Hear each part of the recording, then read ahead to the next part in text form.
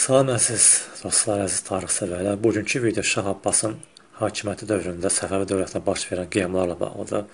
Yəni bir öncəki videolarımda mən Şah İsmail, Şah Təmasi və Şah Məhəmməd Xudaybərdinin hakimiyyəti dövründə baş verən bütün qiyamları göstərmişdim. Bu videoda amma Şah 1-ci Abbasın hakimiyyəti dövründə baş Səfəvi dövlətində baş verən bütün qiyamlarla qiyamlarla bəhs edəcəm mən. Səfəvi dövlətində ən çox qiyam olan Şah 1-ci Abbasın hakimiyyəti dövründə. Şah 1-ci Abbasın hakimiyyəti dövründə Səfəvi dövlətində düz 44 dənə qiyam olub. Bunların da bir çoxu əyalət və yaxud vilayət hakimləri idi, hamısı müstəqillər cəmiyyətidir hansı ki Şah Abbasın hakimiyyəti dövründə birinci qiyam Kirmanın keçmiş hakimi Bəqdaş xan Əfşarın qiyamıdır. Yəni 16-cı əsrdə demək olar ki, bir əsr Kirmanı Əfşar tayfası idarə edir.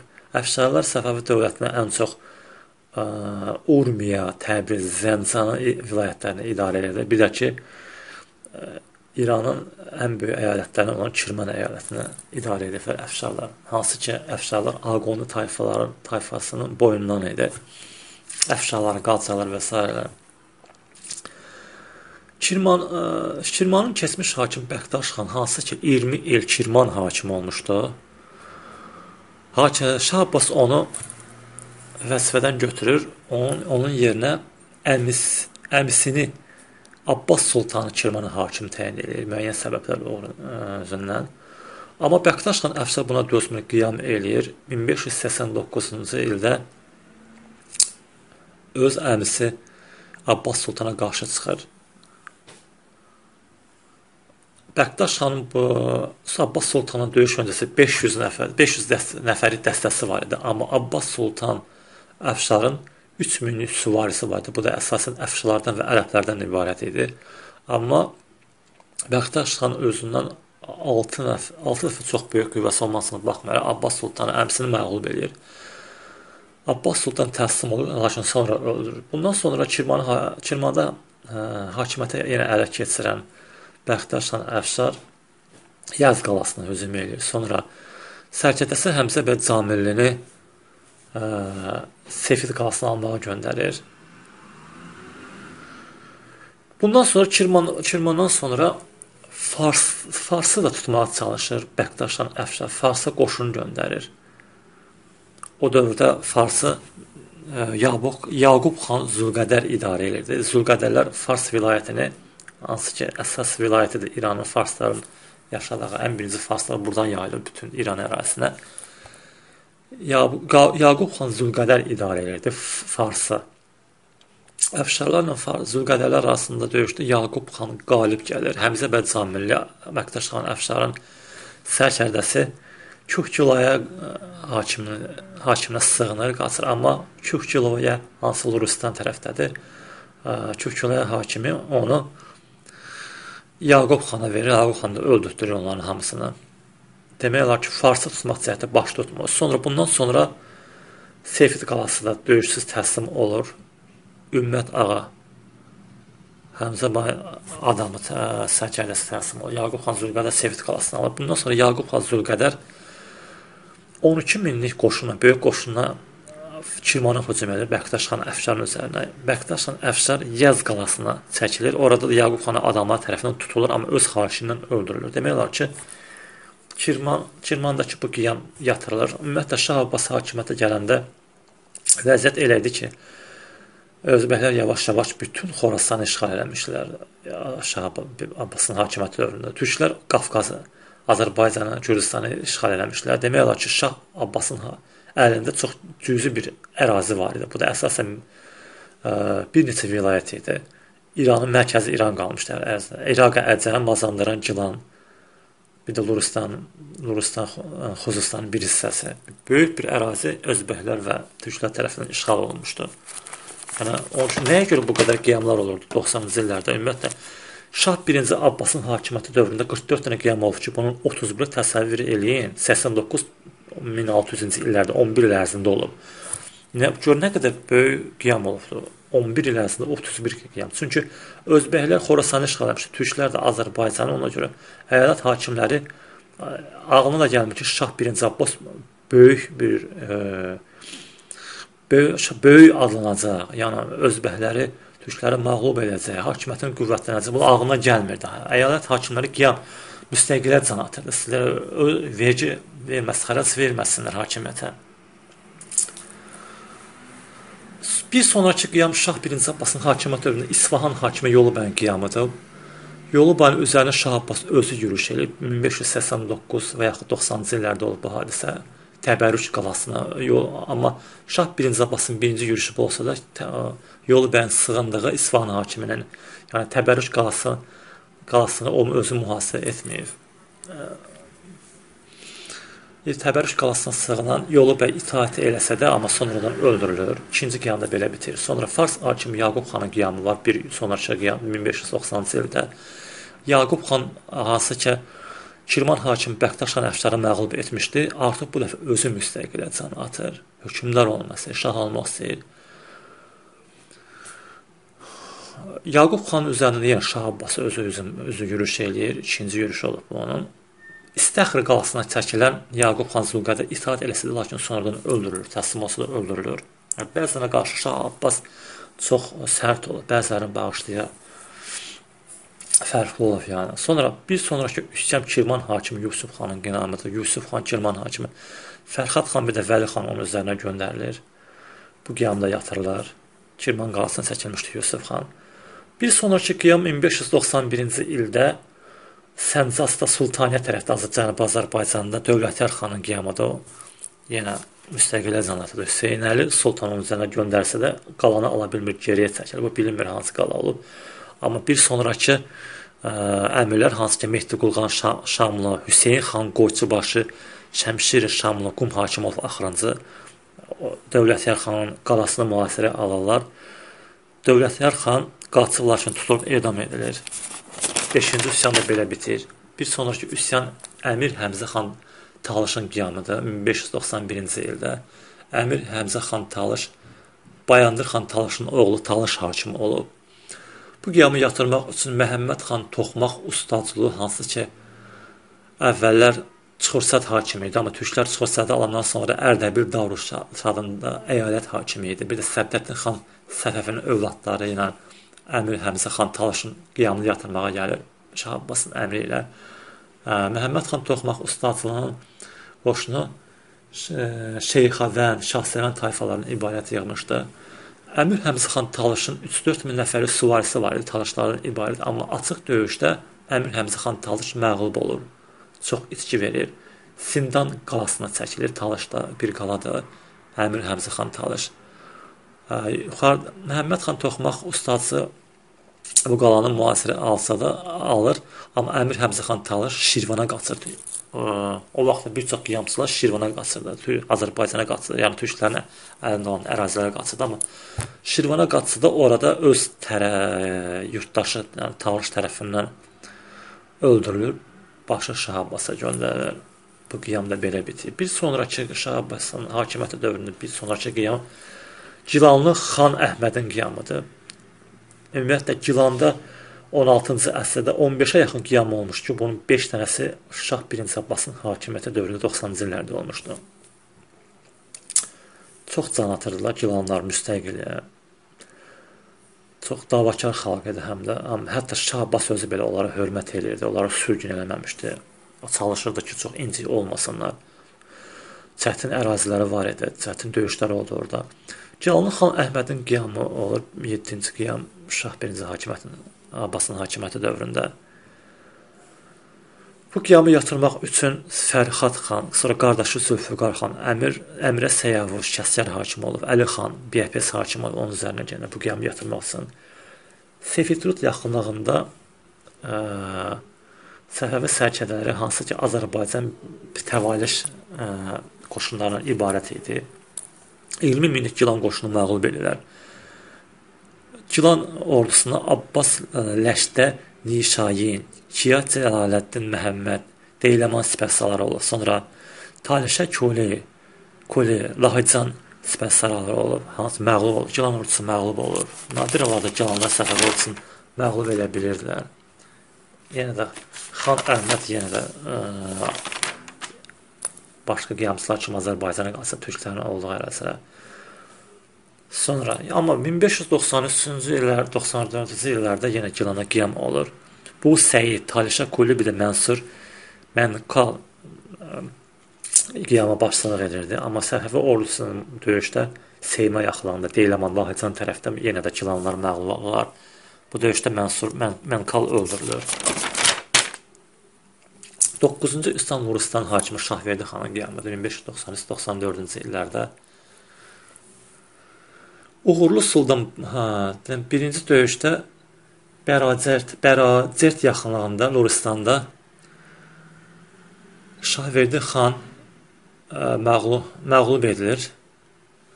Amma məğlub edilsə də bu döyüşdə Səfəvi sərkəsi Uğurlu Sultan Bayat öldürülür.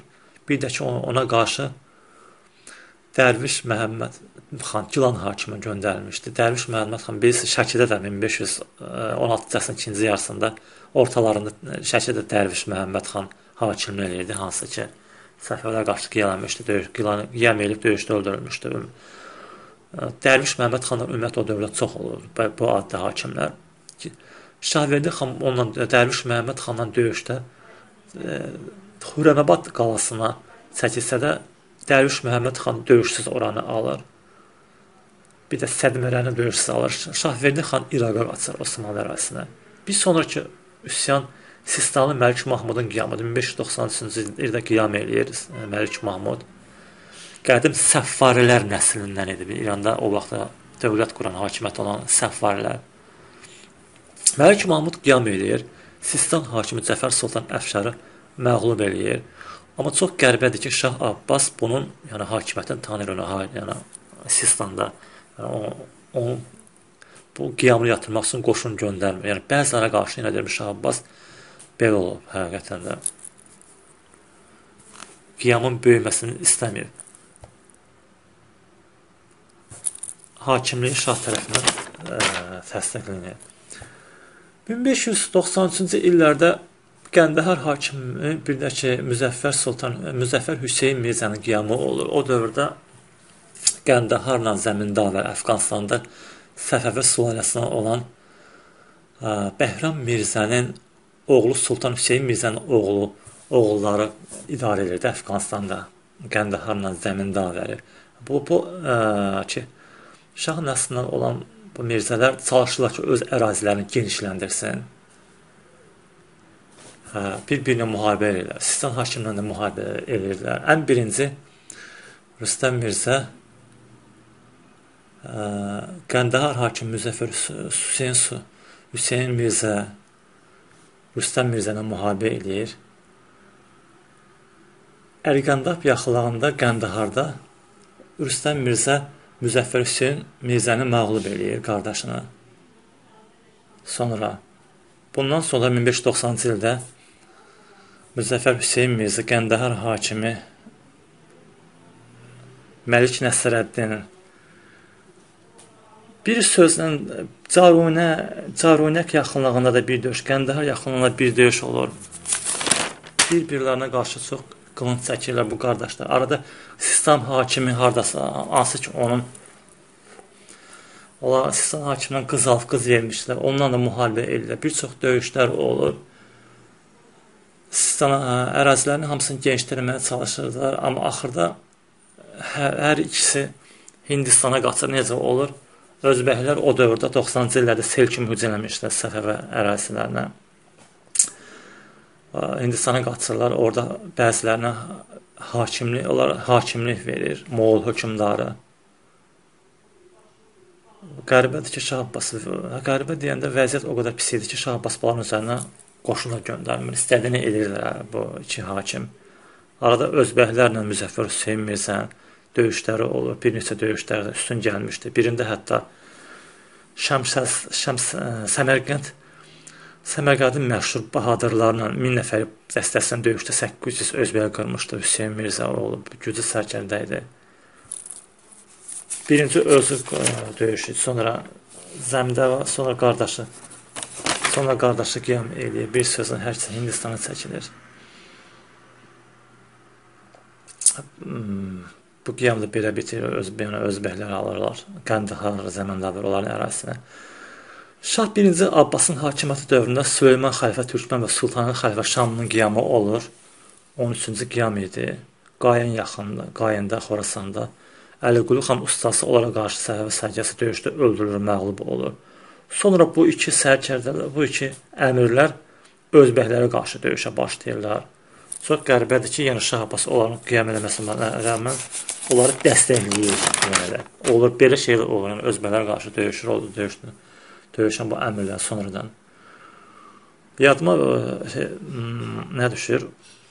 16-cı əsrdə İngiltərə kraliçası İspan gəmilərini soyan İngilis dəniz qulduruna hətta cəngavər rütbəsi verib özlərini onun başına tac qoymuşlar. Belə şeylər Səfəvi Səfəvi dövlətində də baş verirdi. Bir il sonrakı qiyam Şah 1-ci Abbasın hakimiyyət dövründə Gilanın BPS hakimi Əli xan Əli xan onun qiyamıdır. 14-cü üsyan oldu hansı ki bu qiyamı yatırmaq üçün Fərhad xan göndərmişdi Səfəvi sakəsi BPS yaxınlığında sonra BPS yaxınlığında qarşılaşır. Əli xan qaçır bu dövrdə döyüşsüz. Sonra onun sığındığı Zərmeh qalası 2 aya alınır Gilanda. Fərhad xan başçılığı 1000 nəfər İsfahan tüfəngçisi iştirak edib bu mühasirədə. Əli xan əsir düşür. Baş yenə Gilanda sonra yenə üsyanır. Kəsər hakimi Əmirə Müzəffər, Müzəffərin qiyamı olur 1594-cü ildə. Kəsər yaxınlığında Zülfüqar xan 10 minlik Azərbaycan ordusunu Əmirə Müzəffər, bir də Əmirə Səyabaşının oğulları olan Gilan başı oğulların başçılıq elədiyi Gilan ordusunu məğlub eləyib. Əmirə Müzəffər qaçır bu döyüşdə. Sonradan Xuzistanda, Kürkülayədə və ə, yəni Kürkülayədə də qiyamlar olur. Səfəvi ordusu bu əraziyə yürüş eləyir. 1594-cü ildə Murad xan Slavdarbaşı qiyamı yatırmaq üçün hərəkətə gəlir. Şuşlar qalası döyüşsüz tə təslim olur, amma sonra Seyid Mübarək Xuzistan hakimini hansı ki, Disfulu alır. Um, yenə Murad xan Zaldarbaşı Şütər qalasını mühasirə alır. Seyid Mübarək Xuzistan hakimi itaatini bildirir. Peşman olur qiyamına. Sonra Luristanlı Şahverdi xan Abbasın qiyamı olur 1594-cü ildə. Sultan Hüseyn Hüseynə qarşı döyüşdə öldü. Və qalib döyüşdə Sultan Hüseyn Şahverdi xan Abbasa məğlub eləsə də özü öldürür Luristanlı hakimi. Şahberdi xan Abbasın əmisi oğludur. Şahberdi xan Abbas itaət edib. Ruslan hakimliyi ona verilir. Olur yəni bəzən belə şeylər, yəni əvvəlki hadisə yenə Məlik Mahmudun qiyamında kimi yenə olur. Sonra Kürkülər hakimi Həsən xanın qiyamı olur 18-ci qiyam olur. 1590-cı həbs edilir və hakimiyyətdən kənar edilir. Bir sonrakı qiyam Kəcir və Rüstəmdar hakim Məlik Cahangirin qiyamıdır. Məlik Cahanir 1596-97-ci illərdə Kəcir qalasına sığın, amma Səfəvi qoşunu tərəfindən alınır. Sonra bir sonrakı qiyam Gəraylı hakimi Əlixan Gəraylı Türkmənin qiyamıdır. Nəyə görə? Şah Abbas Xorasana yürüş edəndə qoşunlar Şah Abbasa qoşulmamışdı.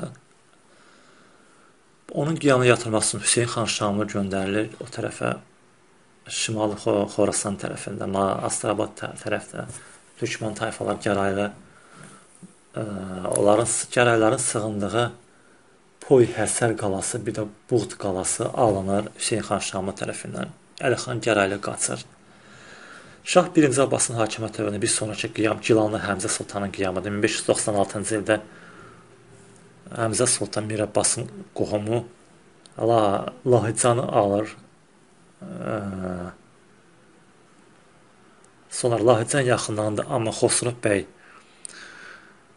Çəhriyar Rəşd darağası bir də ki Uğurlu Sultan Çəyəni Fümən hakimi idi. Onu məğlub edirlər, özü də öldürür hə, Həmzə Sultan. Civanlı. Sonra Mazandaran hakimlərinin qiyamı var. Mazandaranda 3 hakim idarə edir Mazandaranı. Fərhad xan bu Mazandaranı Bakı qiyamları yatırmağa göndərir. 1596-cı ildə Amal qalasını alır Mazandaranda. Və Məlik Bəy, Bəhmən özü qalada olmayıb, Lahıcan hakimi idi.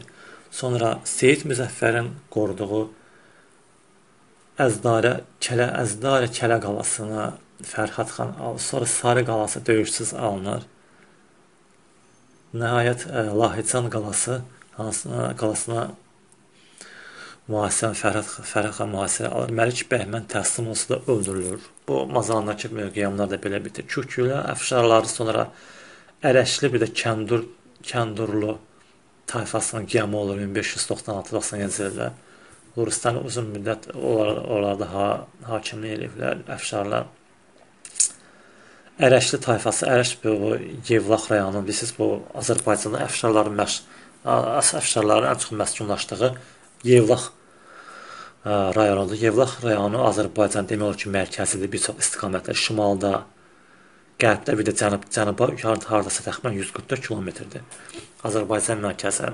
Ərəşlər də ki, Kür çayının Şirvan hissəsində, şimal hissəsində, yəni o vaxtda indi Xalq Xaldan ərazisində yerləşmişdilər, orada yaşayırdılar. Ərəş sultanlığı olub, hətta xalq xanlıqlar dövründə. Göründüyü kimi ərəblər hətta o vaxtda Luristanda döyüşüblər. Kürkülayda əfşarlarla Kəndəli tayfasının qiyamı olur. 1596-cı ildə Mehdiqulu, Mehdiqulu xan Şamlı Şüştər hakimi bu qiyamı yatırmağa gedir Şam. Şüştər və Rama yaxınlığındakı döyüşdə qiyamçılar rəhbərləri Əbül Əbül Fəth xan Əfşar bir də ki Seyid Mübarək Ərəbistan hakimi Xuzistana, Ərəbistana deyilirdi, məğlub məğlub edilirlər. Amma Şüştər yaxınlığında Mehdiqan Şamlı ə, məğlub olur qiyamçılara. Amma yenə də hə, qiyam yatırırlar, əfşarlan kanlı itaatini bildirirlər. Şah 1-ci Abbasın hakimiyyəti dövründə sonra Əlixan Gəraylı'nın ikinci qiyamı var. Bu 1597-ci ildə 25-ci qiyamı idi Şah 1-ci Abbasın hakimiyyəti dövründə hansı qala qalaya çəkilir, adı deyilmir. O qala alınır Hüseyn xan Şamlı Qum hakimi tərəfindən. Əlixan Gəraylı kör edilir, sonra cəzalanır. Sonra bir sonrakı qiyam Kədir hakimi Məlik Cahangirin qiyamı 1597-ci ildə. Onun sığınır Kəzir qalası və yaxud da Marankuh, Marankuh qalası 4 aya alınır Allah Qulu bəy tərəfindən. Məlik Cahangir qaçır. Başqa sərkərdə Məlik Kəyyummərs əsir düşür yuxarıdakının qardaşı, yəni o Məlik Sahanginin qardaşı. Sonra həmin ildə Həsreyn qalası alınır İbn Hüseyn Fərus e, Fərus Fərusən qala Təngəbuç hakimi olub. Məlik Əşrəf əsir düşür.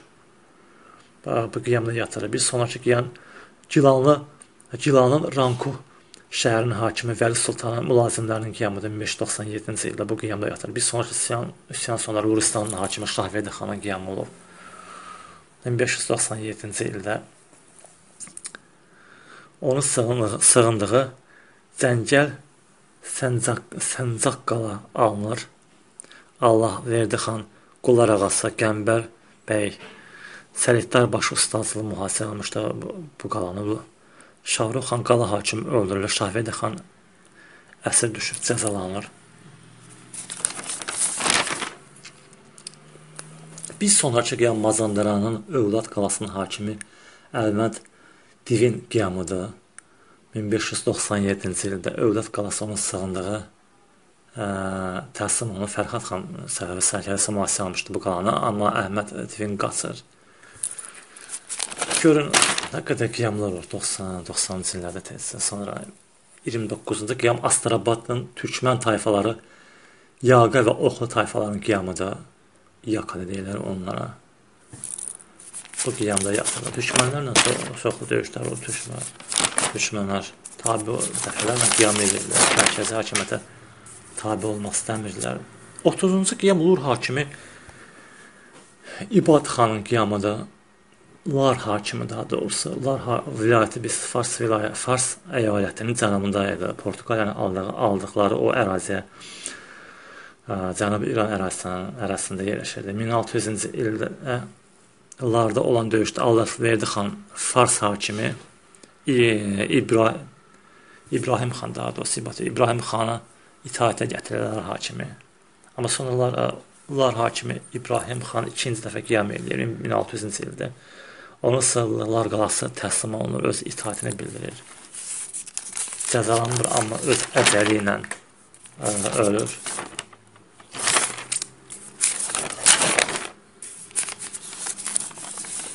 Sonra 1600-cü ilin əvvəllərində türklərlə ə, döyüşlər başlayır.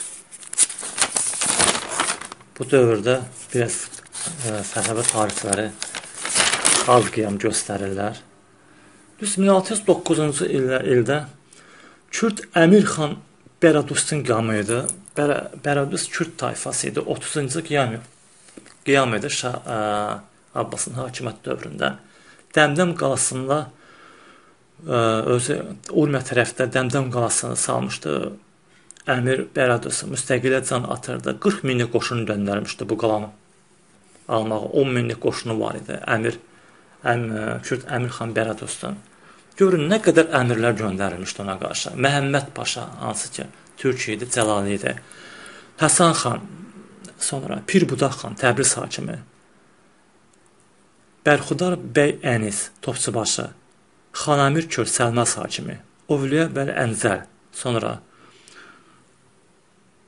Sumayin hakimi, Cəfərqulu bəy Yüzbaşı, sonra Gəncəli xan, Kirman hakimi, Kürd idi. Mir Fəttar İsfahan tüfəngçilərinin başçısı, sonra Muradxan Sultan, Muradxan Sultan Çini, Çiyəni hakimi oldu. Çiyəni daha doğrusu Xəlil Sultan, Silspür, Silspürüsü, Silspürü, Məhəmməd Tağı bəy, Azərbaycan tüfəngçilərinin başçısı. Qəban Sultan Biqdeli, Nemətullah Sultan Sofi, Mir Sofi, Mir Pazuki, Mir Müqəddəm, İmamqulu Sultan A, Acəlku, Həsən xan İlyas xəlifə Qaradağla bu döyüşdə, yürüşdə öldürülür. Məhəmməd bəy bir deyilir Şamla. Bir sözdən 40 minlik ordu göndərilir. Uzun döyüşlər olur qala-qaladacılarla. Sonra İsfahan, Xorasan, Təbriz tüfəngçiləri göndərmişdi. 2000 Cəlali bu yürüşdə iştirak elədi. 500 Mazandaran tüfəngçisi, Çəkəni tayfasının qorçuları. Uzun 6 ay, təxminən 6 ay döyüşlər oldu. Bu döyüşdən sonra ə, axır ki qala alınır, qaladakının bir hissəsi qaç çıxıb gedir. Əmir xan Bəradüz Kürd Bəradüz tayfasının əmri idi. Sonra qaladakılar qalanı qoruyanlardan bir Qara bəy idi. Əmir xanın vəkili öldürülür bu qalada döyüşlərində. Amma özü Əmir xan Bəradüz qaçır. Sonra Xan Abbas Mokri, Mükri tayfasından idi, təslim olub öldürülür. Məhəmməd bəy qaçır bu yenə qalalaşaraq. 1614-cü ildə Dəmdan qalası ə, Kürdlərin döyüşsüz alınır. Dəmdəm yaxını bir döyüş, açıq döyüşdə bir döyüş də olur. Qaban xan Biqdeli məğluq məğlub eləyir Kürdləri. Bundan sonra Marağa və ətrafında yaşayan Mukri Kürd tayfasının qiyamı olub 1610-cu ildə. Onların sığındığı Cavdul qalası döyüşsüz alınır. Başqa bir qala da döyüşsüz alınır, adı deyilmi? Sonra Cərmud qalası 1610-cu ildə döyüşsüz alınır. Əliqulu xan, İsfəndiyar bəy Ovçubaşı, Ərəbgirli Həsən xan göndərilmişdi. Bu qiyamı yatırmağa. Bu qiyam da belə yatırılır. Bir qiyamda Qəhqəhə qalası məhbusların qiyamıdır. 1610-cu ildə Qəhqəhə qalası məşhur qalaydı, çoxlu orada qiyamçılar, hakimlər, qiyamçılar, ə, məşhur qiyamçılar orada saxlanırdı. 2 ay, 2 ay yaxın qalanı əldə saxlayırdı. Qəhqəhə qalası məhbuslar kim idi? Mustafa Paşa idi, türk. Əhməd Paşa, sonra Kor Həsən, Qazi xan Kürd oğlu Şahqulu bəy, Xalid bəy, Qorçi Xalid bəy Qoyçu Bicənoğlu, Məhəmməd bəy Kük Kük külənin hakimi Həsən xan Əfşarın iki oğlu və qardaşı, hansı ki bunlar 25-ə yaxın türk və kürd e, qiyamçılar qəfilən qiyam edirlər, qala hakimi öldürürlər. Amma 2 ay sonra ə, e, bəziləri öz aralarında bir-birini qırırlar. Bəziləri təslim olmaq istəyir Səfəvi hakimiyyətinə. Qalanı mühasirə elə Müzəffər bəy Qaradağlı, Qala Kutvalı öldürülür. Sonra Köh Gülayəli, Xacə Maqsud Əli, sonra Qala hakimi İlyas Xəlifə Qaradağlının qohumları mühasirə etmişdilər. 35-ci qiyam Şah 1-ci Abbasın hakimiyyəti dövründə Kəbir və Moçran vilayəti hakimi Məlik Şəmsəddinin qiyamı idi. 1613-cü ildə Benfət qalası onun sınığında təslim olunur. İtaatını bildirir Məlik Şəmsəddin. Kirmanın şərqində yerləşir Moçran. Gəncəli xan Kirman hakimi onu təslim olunmağa məcbur eləyir.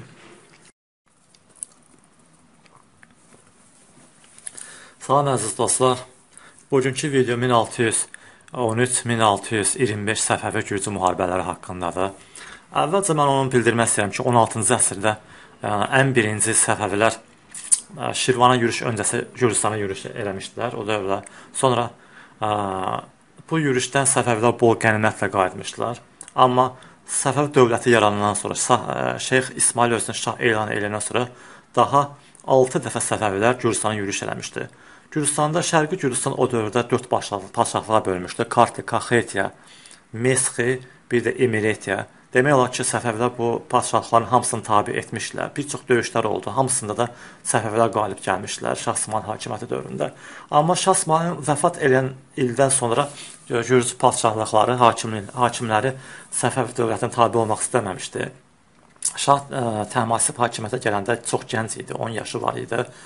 Həmin dövrdə demək olar ki, bütün ə, Gürcü padşahlıqları hakimiyyətə Səfəvlərə tabe olmaqdan boyun qaçırmışdı.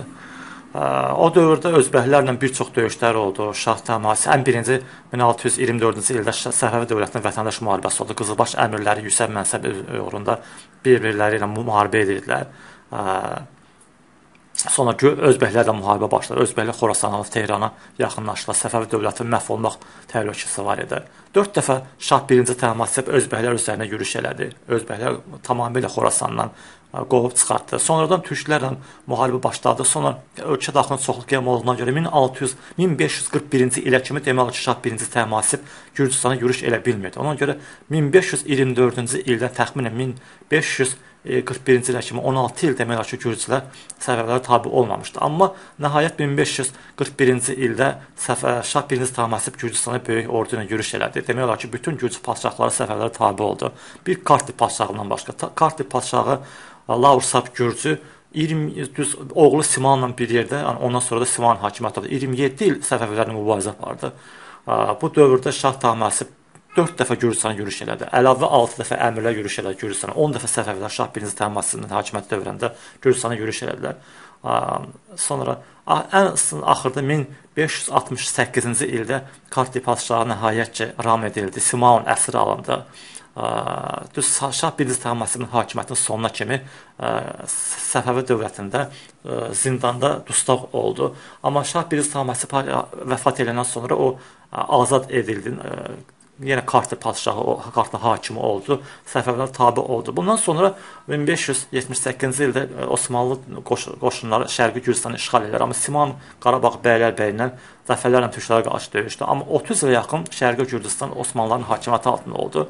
Bir nəhayət Şah 1-ci Abbas Azərbaycanı işte az Türk Osmanlılardan azad eləyəndən sonra Şərqi Gürcüstanı da azad elədi. Demək olar ki, döyüşsüz azad elədi. Bütün Osmanlı hakimləri Səfəvilər tabe oldu, ilə çıxıb getdilər. 1612-ci ildən bəri sakitlik, amma 1600 1613-cü ildə Kaxet valisi Təhmiras qiyam eləyir, Səfəvilər tabe olmaq istəmir. Şah Abbas onun üzərinə özü yürüş edir. Gürcüstana bu Şah Abbasın birinci yürüşü idi. Cəmi Şah 1-ci Abbasın hakimiyyət dövründə 16-cı yürüşü idi. 1614-cü ildə Torağa qalası Məhəmməd Tağı bəy Təbrizi tərəf, yəni minbaşı əmri idi, tüfəngçi minbaşısının əmri idi və minbaşısı idi, tüfəngçi minbaşısı. Torağa qalasını Mesxidə alır. Sonra Bəyverdi bəy Gürcü Fars bəylər bəyinin mülazimi Us yaxınlığında baş açıqda, yəni Emirətdə həmin ildə Gürcülərə məğlub edir. Gürcülər düz 500-ə yaxın əsir içki verirlər, əsir içki verirlər. Amma bu Gürcüstana ümumiyyətlə yürüşdə Qızılbaşda düz 30 min əsirlər geri qayıdırlar. Amma yenə də Kaxet valisi Təymurası, yəni Teymurazı Gürcü dilində Teymuraz, yəni Səfəvilər olan Teymuraz deyə tam ram eləmək olmadı. Yəni o Gürcüstan Gürcü hakimləri bir çox sığınaqlar var. Gürcüstan dağlarında, Şimal Qafqaz dağlarında ki, ora sığınırdılar. Yəni tamamilə məhv edə bilmirdi ona görə birinci Təhmasibin dövründə də belə olmuşdu.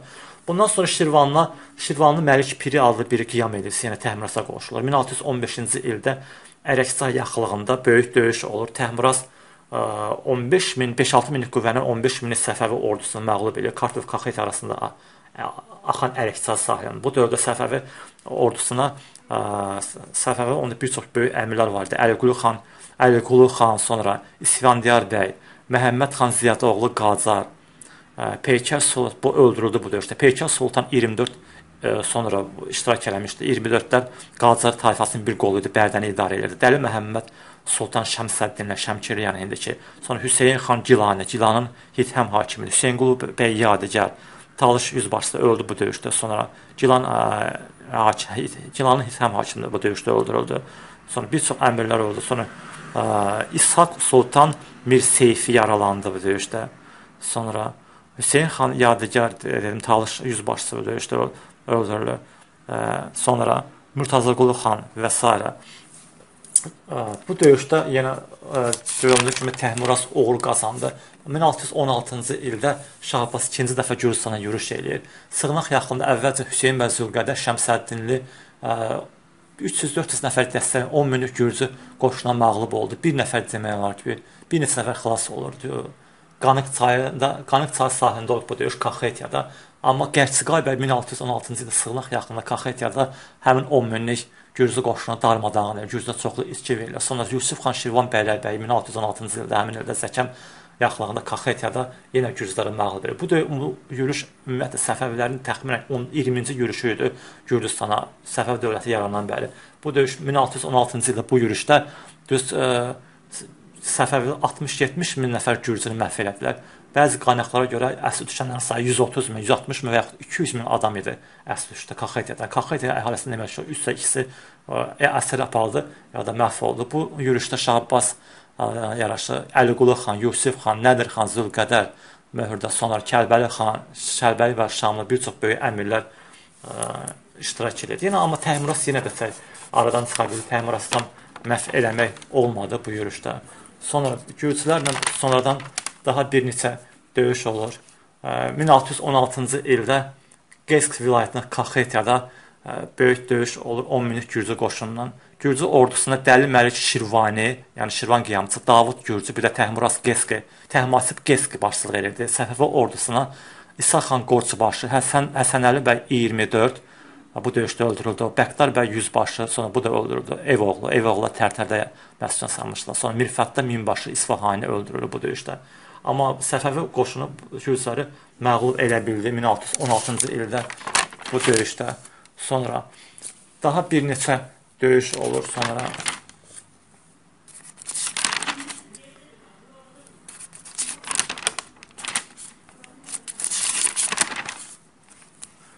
...1623-24-cü ildə böyük Səfəvi ordusu yenə Kaxetə yürüş edib. Peykar xan 24 Qacar Kaxet valisi idi. Mavravi bəy Gürcü, Qərçiqay xan, Yusuf xan Şirvan bəylər bəy, Məhəmməd Məhəmmədqulu xan Ziyadoğlu Qacar, Qarabağ bəylər bəy iştirak edir bu yürüşdə. Bu yürüşdə necə demək olar, necə nə böyük hadisə baş verdi.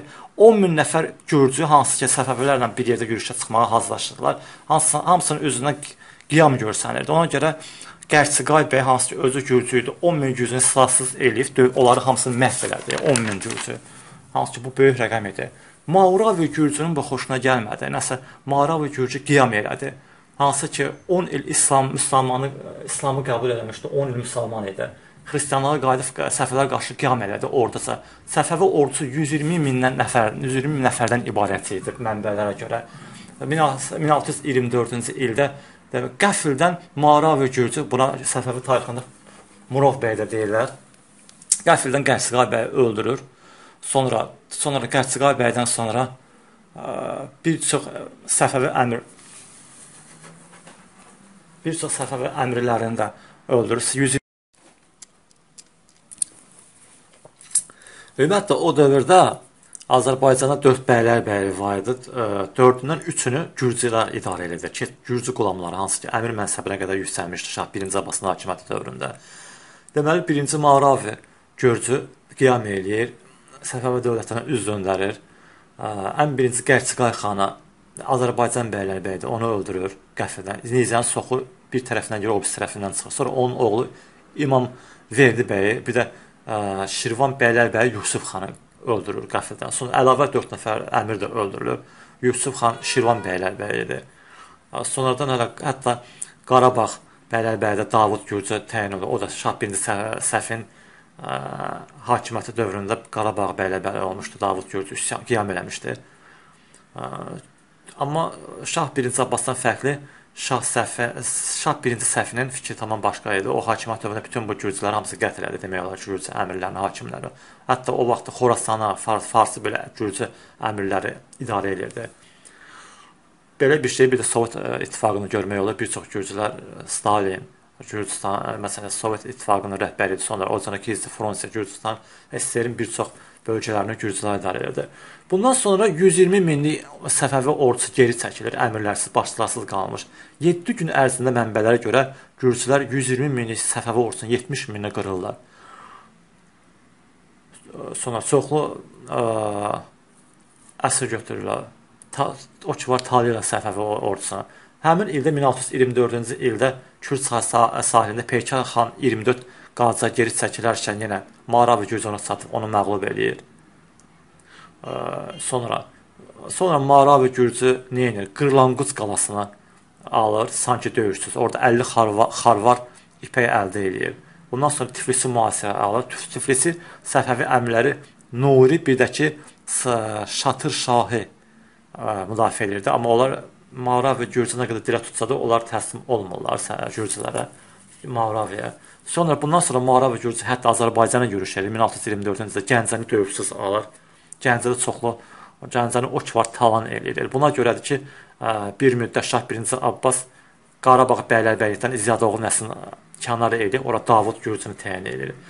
Şah 1-ci Abbasın da belə qəribə əmrləri var idi. Yəni ə, fərmanları. Yəni, yəni görürdü ki, Mara və Gürcü qiyam eləyir. Bu qədər Səfəvilərə ziyan yetirdi. Bu qədər belə 70 min səf qızılbaş öldürüldü 7 gün ərzində Gürcüstanda. Osmanlılarla 30 illik müharibələrdə, müharibədə Şah Birinci Abbasın hakimiyyət dövründə bu qədər itkilər verməmişdi Qızılbaşlar. Amma görürsüz, təzədən bir də Gürcünü, başqa Gürcünü Qarabağa bəylər bəy təyin eləyir. Həqiqətən başa düşmək olmur. Deyirsiniz, Qızılbaş əmrlərə fərqli Gürcü qulamları sanki güya daha etibarlıdır, mərkəzə birbaşa vergi verirdilər. Qızılbaş əmrlər kimi soyuq tala bilmirlər, yəni özlərinə çox şey götürə bilmirlər. Amma yenə də çox bunlar bunlar da etibarsızdır, bunu göstərdi. Gəncəni al alır sonra 2 ay ərzində demək olar ki, Marava Gürcü Şərqi Gürcüstanı tamamilə qızılbaşlardan azad edildi. Bu 70 min bu qədər bu böyük məğlubiyyəti eşidən Şah 1-ci Abbas deyilənə görə hətta o qədər pis olmuşdu, 800 min otağından çıxmamışdı. Amma 1625-ci ildə gələn il 80 minlik yeni ordu göndərir Gürcüstan yürüşə.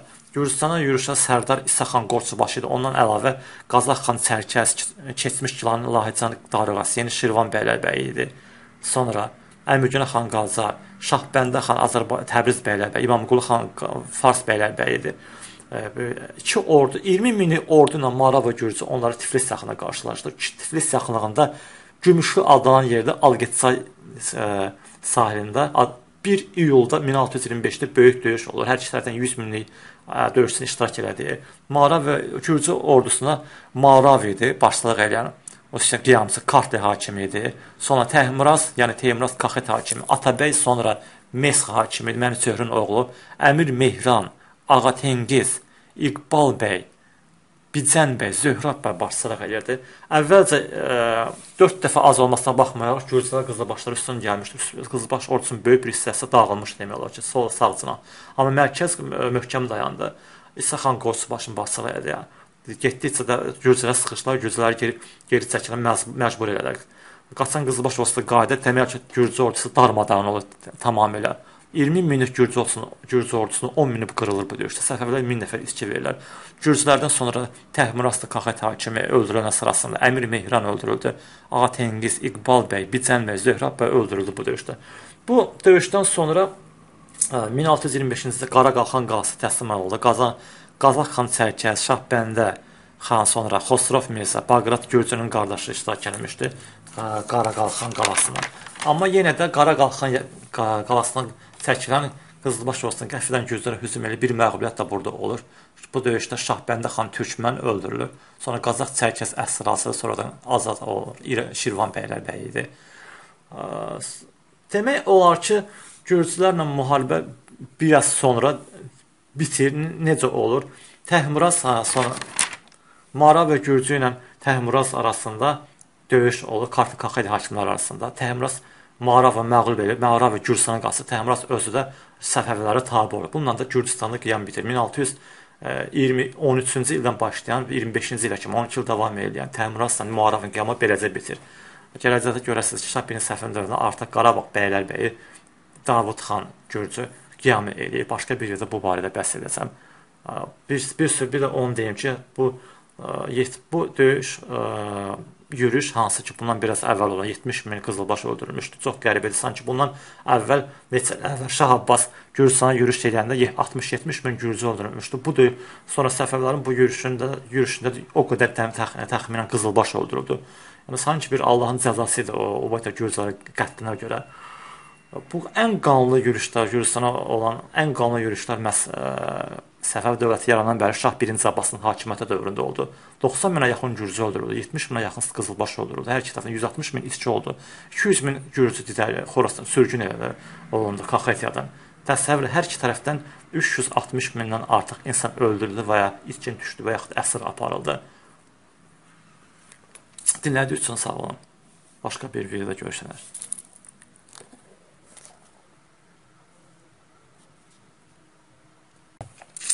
Şah 1-ci Abbasın hakimiyyəti dövründə sonra Xüzistanlı Seyid Səlamənin qiyamı olur. 1619-cu ildə 38-ci qiyam olur Şah 1-ci Abbasın hakimiyyəti dövründə. İmamqulu xan Fars bəylər bəy bu qiyamı yatırmağa gedir. Dürək qalası hansı ki Seyid Səlamə Kökülayada sığınmışdı.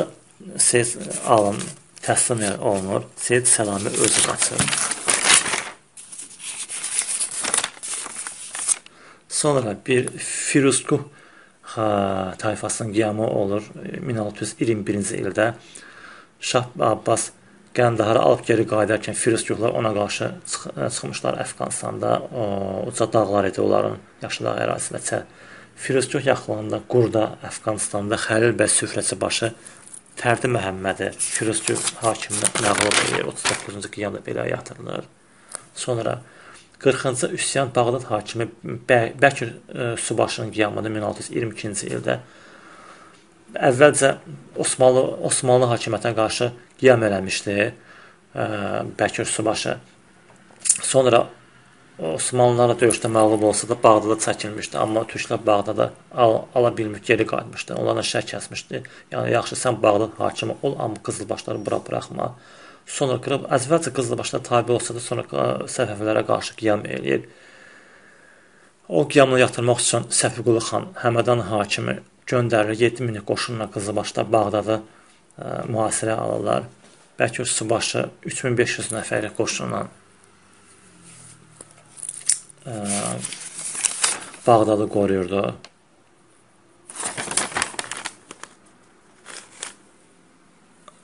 Sonra Bəlkə Subaşının bir neçə nəfər döyüş oldu. 1622-ci ildə Dərcilər Bağdad Bağdad yaxınlığında məşhur bir döyüş olur. Səfəvilər Dərcə çayını keçərkən 1000 nəfərlik qoşun göndərmişdi. Bəlkə Subaşı Həmzə ağa, Ömər Kəndxuda vəkil bir də Həzir ağanın başçılığı ilə burada bir məşhur döyüş olur. Səfəvilər 60-70 nəfərlə isə 60-70 nəfərlik Səfəvi dəstəsi 1000 nəfərlik qiyamçıları məğlub edir.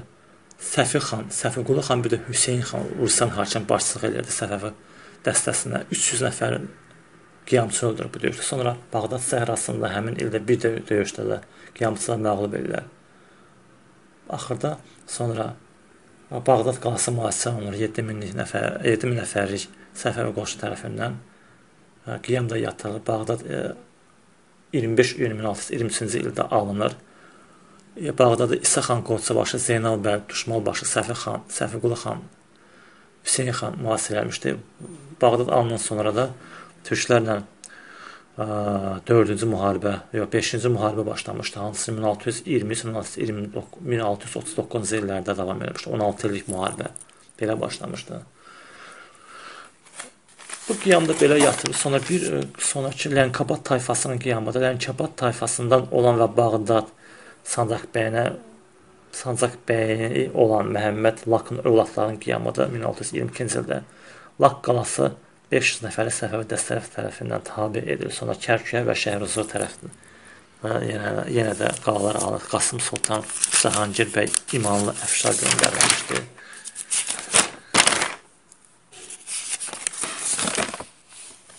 Sonra bir sonrakı qiyam 42-ci qiyam hə, Həvizə Ərəbistan valisi Seyd Mənsurun qiyamını 1623-cü ildə onun sığındığı Həvizə qalası alınır Seyid Məhəmməd, Şeyx Abdullah Loğman, bir də İmam Qulxan Fars hakimi tərəfindən.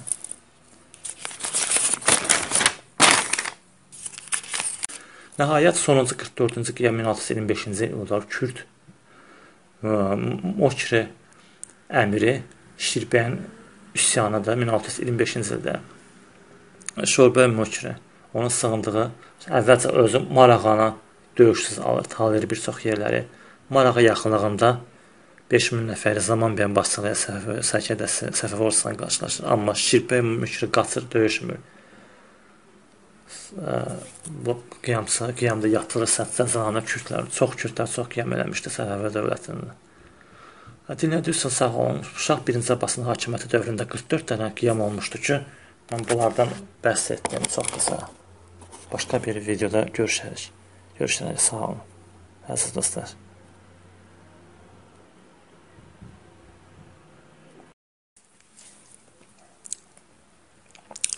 Salam əziz dostlar. Bugünkü video 1603-1612-ci illərdə baş vermiş Səfəvi Osmanlı müharibəsi haqqındadır. Ən birinci Səfəvi Səfəvilərlə Osmanlılar arasında müharibə 16-cı əsrdə 1514-1555-ci illərdə 41 il davam edən müharibədir, böyük müharibədir, hansı ki, müharibə. Bu müharibədə 100 minlərlə hər iki tərəfdən döyüşçü iştirak edirdi. Bu ə, e, müharibədə Səfəvilər bir çox əraziləri ə, e, itirdilər. Məsələn, Şah İsmailin hakimiyyəti dövründə Diyarbəkir, Ərzincan, bir də şimal İraqda şimal ə, Mosul vilayəti idi. Şah Təhməssimin hakimiyyəti dövründə Ərzurum, Ərzurum vilayəti, Şərq Anadolu, bir də bütün İraq ərazisi Osmanlı tərəfindən işğal olunmuşdu. Şah Məhəmməd Xudavəndin hakimiyyəti dövründə bütün Azərbaycan, Şərqi Gürcüstan bir də ə, Luristan vilayətinin bir hissəsi Osmanlı tərəfindən işğal olunmuşdu. Ümumiyyətlə nə üçün 1603-cü ildə Şah 1-ci Abbas Osmanlı türklərə qarşı müharibəyə başladı? Bu ili uyğun gördü. Çünki 1578-ci ildə fikir versəz gör, fikir verin, 1578-90-cı illərdə türklər həm Səfəvilərlə müharibə eləmişdi, həm həmin il, ildə illərdə Mərakeş, Portuqaliya və İspaniya krallıqlarla müharibə eləmişdi. Bundan sonra 1590-cı ildən etibarən hansı ki 13 ildən artıq davam edən Avstriya ilə müharibəyə başlamışdı. Demək olar ki, ardıcıl Osmanlı imperiyası 1578-ci ildən bəri Avropada və Asiyada müharibələr eləyib çox qüvvə itirmişdi. Üstəlik 1603-cü ildə Osmanlı İmperiyası arasında Cəlal üsyanı, geniş Cəlalilər hərəkatı ə, hansı ki Koroğlu da bu xalq qəhrəmanı bu hərəkatın bir ə, rəhbərlərdən biri idi, 60 rəhbərlərdən biri idi. Cəlalilər hərəkatı baş verir Osmanlı İmperiyası arasında. Ən uyğun vaxt bu il 1603-cü ildə Şah 1-ci Abbas hansı ki həm qeyd edir ki, Azərbaycanı Osmanlıdan geri almaq, azad etmək onun ən böyük arzularından biri olub. 1603-cü ildə dövləti, ordunu qüvvətlənən Şah 1-ci Abbas Osmanlılara qarşı müharibəyə başladı. Müharibə necə başladı? 1603-cü ildə təxminən Səlmas yaxınında Cənubi Azərbaycana e, qiyam olur. Təbriz hakimi qiyamı üsyanı yatırmağa gedir. Bundan istifadə edən Şah Abbas qəflən kiçik bir qüvvə ilə e, bir neçə min nəfər dəstəyi ilə Təbrizi e, Osmanlıların geri alır. Döyüşsüz alır. hansı ki ora mühasirə etsəydi, böyük itkilər verə, verə bilərdi Səfəvi, Səfəvi ordusu. Bu yürüşə Şah Abbas güya ki Mazandıranda ova çıxır, belə xəbər yaymışdı. Yəni qəfil türklərin xəbəri olmasın.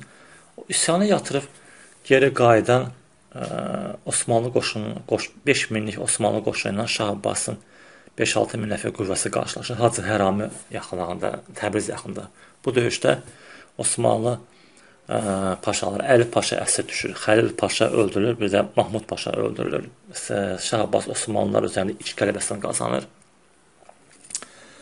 Ümumiyyətlə bu müharibə başqa o birisi müharibələrdən nə ilə fərqlənir? Bu müharibədə Səfəvilər ancaq qalib gəlir, nadir halda məğlub oldu. 90% hardasa Ümumiyyətlə Şah Abbasın hakimiyyəti dövründə Osmanlılarla 70-dən artıq döyüş olub ki, bunun 90%-ində Səfəvilər qalib gəlib.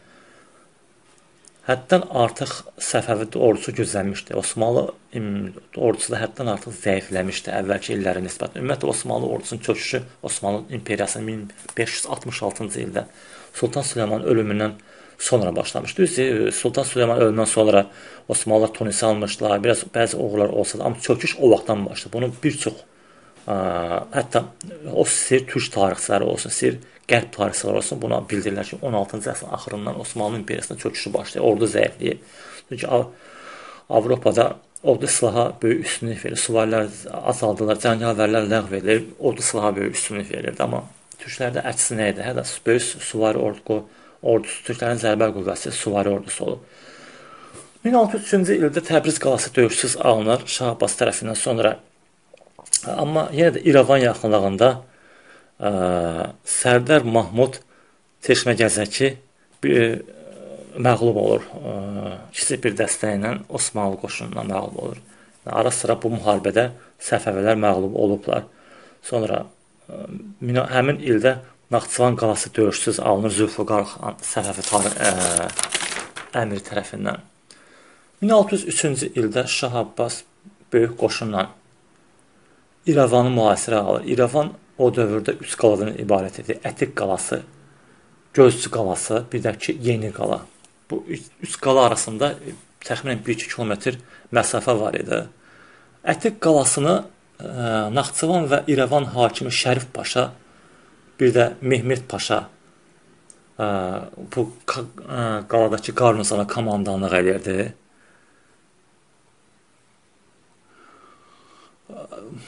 Əmir Günəxan Qaca Səfəvi Əmir Ətin qalasına mühasirə almışdı. Zülfüqar xan da Gözcü qalasına. Ümumiyyətlə bu mühasirə, bu yürüşdə Şah Abbas özü başçılıq edirdi. Şah Abbasın cəmi 10-cu yürüşü idi bu 1603-cü ildə İrəvanın mühasirəsi. Uzun döyüşdə bu döyüşdən sonra İrəvan bu üç qala alınır. 12 minlik təxminən 12 minlik Osmanlı qarnizonunun bir, bir hissəsi qırıldı, bir hissəsi təslim oldu. Yəni tə, kapitulasiya oldu, çıxıb getdilər. 2000-dən artıq təkcə yeni qala, yeni qala alınarkən 2000-dən artıq türk öldürüldü. Bu yürüşdə hansı Səfəvi əmirləri iştirak edirdi? Allahverdi xan Fars hakimi, Həsən xan Ustadlı Həmədan hakimi, Hüseyn xan Luristan hakimi, Mustafa bəy Mahmudi Mavqo hakimi, Qərçiqay bəy, Şeyx Heydər o bu dö döyüşlərin birində öldürülür. Şeyx Heydər Mokri, Topçubaşı Bərxudar bəy, Həsən xan Ustacılı Həmədan hakimi, Maqsud bəy Nazir, Məhəm Məhəmməd Tağı bəy, Təbriz tüfəngçiləri minbarçısı, Əmir Günə xan, İrəvan İrəvanın yeni hakimi, Əmir Günə xan Qaca, güclü sərkərdə idi. Qacalardan güclü əmirlər çıxırdı. Çox qələbələr olmuşdu Osmanlılar üzərində. Gələcəkdə görəsiniz sonra. Qəmbər bəy, Qəmbər bəy silahlar başı, göz böyüklüyüdür tayfasından elə. Sonra Bəstam ağa. Ümumiyyətlə nəinki İrəvan bir çox qalalar türklərdən alınır. Ən çox Səfəvi hökmdarlarının içində məhz Şah 1-ci Abbasın hakimiyyəti dövründə ən çox qala alınıb. Bunu bir çoxları bilmir. 90-a yaxın istəyir Xorasanda özbəklərlə müharibəsi, türklərlə müharibə 90-a yaxın qala fəth olunur ki, bunun 60-ı döyüşlə alınmışdı, 30-u döyüşsüz alınmışdı. Müqayisə üçün deyim ki, təxminən 28 qala Şah 1-ci İsmailin hakimiyyəti dövründə alınıb. 40-a yaxın qala Şah 1-ci Təhmasibin hakimiyyəti dövründə. İrəvan döyüşlərindən sonra sonra Bağdad yaxınında 1603-cü ildə bir döyüş olur. 12 minlik Səfəvi ordusu Allahverdi xan Fars hakimi, Həs Həsən xan Ustası Həmədan hakim, bir də Hüseyn xan Luristan hakim başçılığı ilə Bağdad hakimi Uzun Əhmədin ordusunu məğlub edər Bağdad yaxınlığında Şah Abbas türklərin nəzərini yönəltmək istəyirdi Bağdad tərəfə. İstəmirdi böyük ordu, türklər böyük ordu göndərsin İrəvana. Sonra 1603-cü ildə bir məğlub Osmanlı Səfəvi dəstəsinin bir məğlubiyyəti olmuşdu. 400-500 nəfərli Səfəvi dəstəsi Qozluçay, Qarabağda Qozluçay adlı yerdə Davud Paşa Qarabağ bəylərbəyinin 7000-lik qoşuna məğlub olmuşdu. Bu Osmanlı Səfəvi də, dəstəsi Qacarlar, Tərəkəmə və 32 tayfasından ibarətdir. Səfəvi Səfəvilərə Hüseyn xan Müsahib Qacar, Rüstəm Sultan Sugələn başçılıq edirdi. Bu axırıncı yaralanıb əsir düşmüşdü bu döyüşdə. Kiçik bir qüvvə olduğu üçün Səfəvilər məğlub olmuşdu. Amma bundan sonra Allahqulu bəy Qacarın rəhbərliyi ilə 15 mini Səfəvi ordusu Gəncə yaxınlığında türkləri məğlub eləyirlər. Həmin ildə Kölhər fəth edilib, bu vilayət Bağdad Sancaq bəyinə tabe edilib. Sonra Həmədan yaxınlığında 1603-cü ildə bir qələbəsi də var. Səfəvilərin Qasım Sultan İmanlı Əfşar, Şah Əli Sultan Xudabəndəli Hərseyn hakimidir və Hüseyn Sultan Luristan hakimi 3000-lik qoşunla Uzun Əhməd Bağdad hakiminin 10 minlik qoşununu ordusunu məğlub edirlər. Uzun Əhməd əsir düşür Səfəvlərə. Səfəvə qoşunu əfşarlar, lurlardan ibarət idi. Türklər Türk Osmanlı ordusu türklərdən, lurlardan və də kürdlərdən ibarət idi. Sonra həmin ildə Şuragil qalası İsfahan tüfəngçilərinin cümlə alınır Çuxursəddə. Sonra 1605-ci ildə Əlincik qalası Əmigünə xan Qacar tərəfindən fəth edilir Naxçıvanda. Məhəmməd Təkəli qala komendantı idi. Sonra 1605-ci ildə Mərət yaxınlığında Cəmşid Sultan Dümbili Mərət hakimi hansı Kürd idi. Mustafa Paşa Süleyman bəy Mahmudinin başçılıq elədiyi Osmanlı qoşuna məğlub edirlər. Böyük dəstə, böyük dəstə döyüldü Səfəvi dəstəsi. Nadir hallarda da olsa məğlub olurdu, olurdu Səfəvidə fikir verdiyiniz kimi. Türk ordusu türklərdən bir də Mahmud Kürdlərindən ibarət idi. Cəm Cəmşid Sultan Dümbili idi Mərəd hakimi. Ümumiyyətlə bu xanlıqlar dövründə hansı ki, məsələn, Xoy xanları Dümbili Dümbili tayfa Kürd tayfası idarə eləyirdi. Məsələn, İrəvanla Qarabağ Qacarlar, məsələn, sonra Urmiya, Təbriz, Zəncan da hansı əfşarlar buranı idarə edir. Qarabağ xanlıqlar dövründə hansı xanlıq, hansı tayfa hansı xanlığı idarə edirsə, bunlar bu 235 il ərzində Səfəvi dövlətinin hakimiyyəti dövründə onlar orada hakim olmuşlar. Ona görə xanlıqlar dövründə sadəcə müstəqillərini elan etmişdi. Belə bir şərait yaranmışdı. Uzun illər onlar orada köç salmışlar, oranı idarə eləmişdilər. Sonra 1605-ci ildə Şahmar xan Şəki hakimi Qəbələ yaxınlığında Məhəmməd Əmin Paşa Qəbələ hakiminin qüvvələrini məğlub edir, özünü öldürür, öldür. Türk paşası ölür bu döyüşdə. Sonra həmin ildə Qəbələ qalası fəth edilir. O Səfəvi qoşunu tərəfindən. Sonra 1605-ci ildə Ağsun yaxınlığında Küstəndil xan başçılıq elədiyi hansı ki, İslamı qəbul etmiş Gürcü idi. Başçılıq edir Səfəvi ordusu, Gürcü və Qızılbaşdan ibarət olan 10 mini Səfəvi ordusu Mahmud Paşa hansı ki, Şirvan bəylərbəyidir, ordusunu məğlub edirlər. 2000 türk öldürüb bu döyüşdə. Amma Şamaxını almaq müvəssər olmur. Səfəvi ordusunu həmin ildə hələlik 1605-ci ildə Van yaxınında Vanın yarım fərsəxliyində Allah verdi xan Fars hakimi Gürcü sərkərdə idi. Bu da Gürcü idi. Bir çox qulamlar, bir çox Gürcü, Gürcü ə, sərkərdələri hakim idi Səfəvi əyalətlərində. Fars hakimi Allah verdi xan İslamı qəbul etmiş başqa bir Gürcü idi. Türk qoşuna məğlub edir. 2000 Türk ə, bu döyüşdə də qırılır. Sonra Həmin ildə Van yaxınlığında, Vanın altı fərsəxliyində Qərçiqay bəy, bu da Gürcü idi, İslamı qəbul etmiş. E, Türk qoşunu 2000 Türk qoşunu məğlub eləyir. Məhəmməd Məhəmməd Paşanın başçılığı hansı yaralanır, öldürülür bu döyüşdə.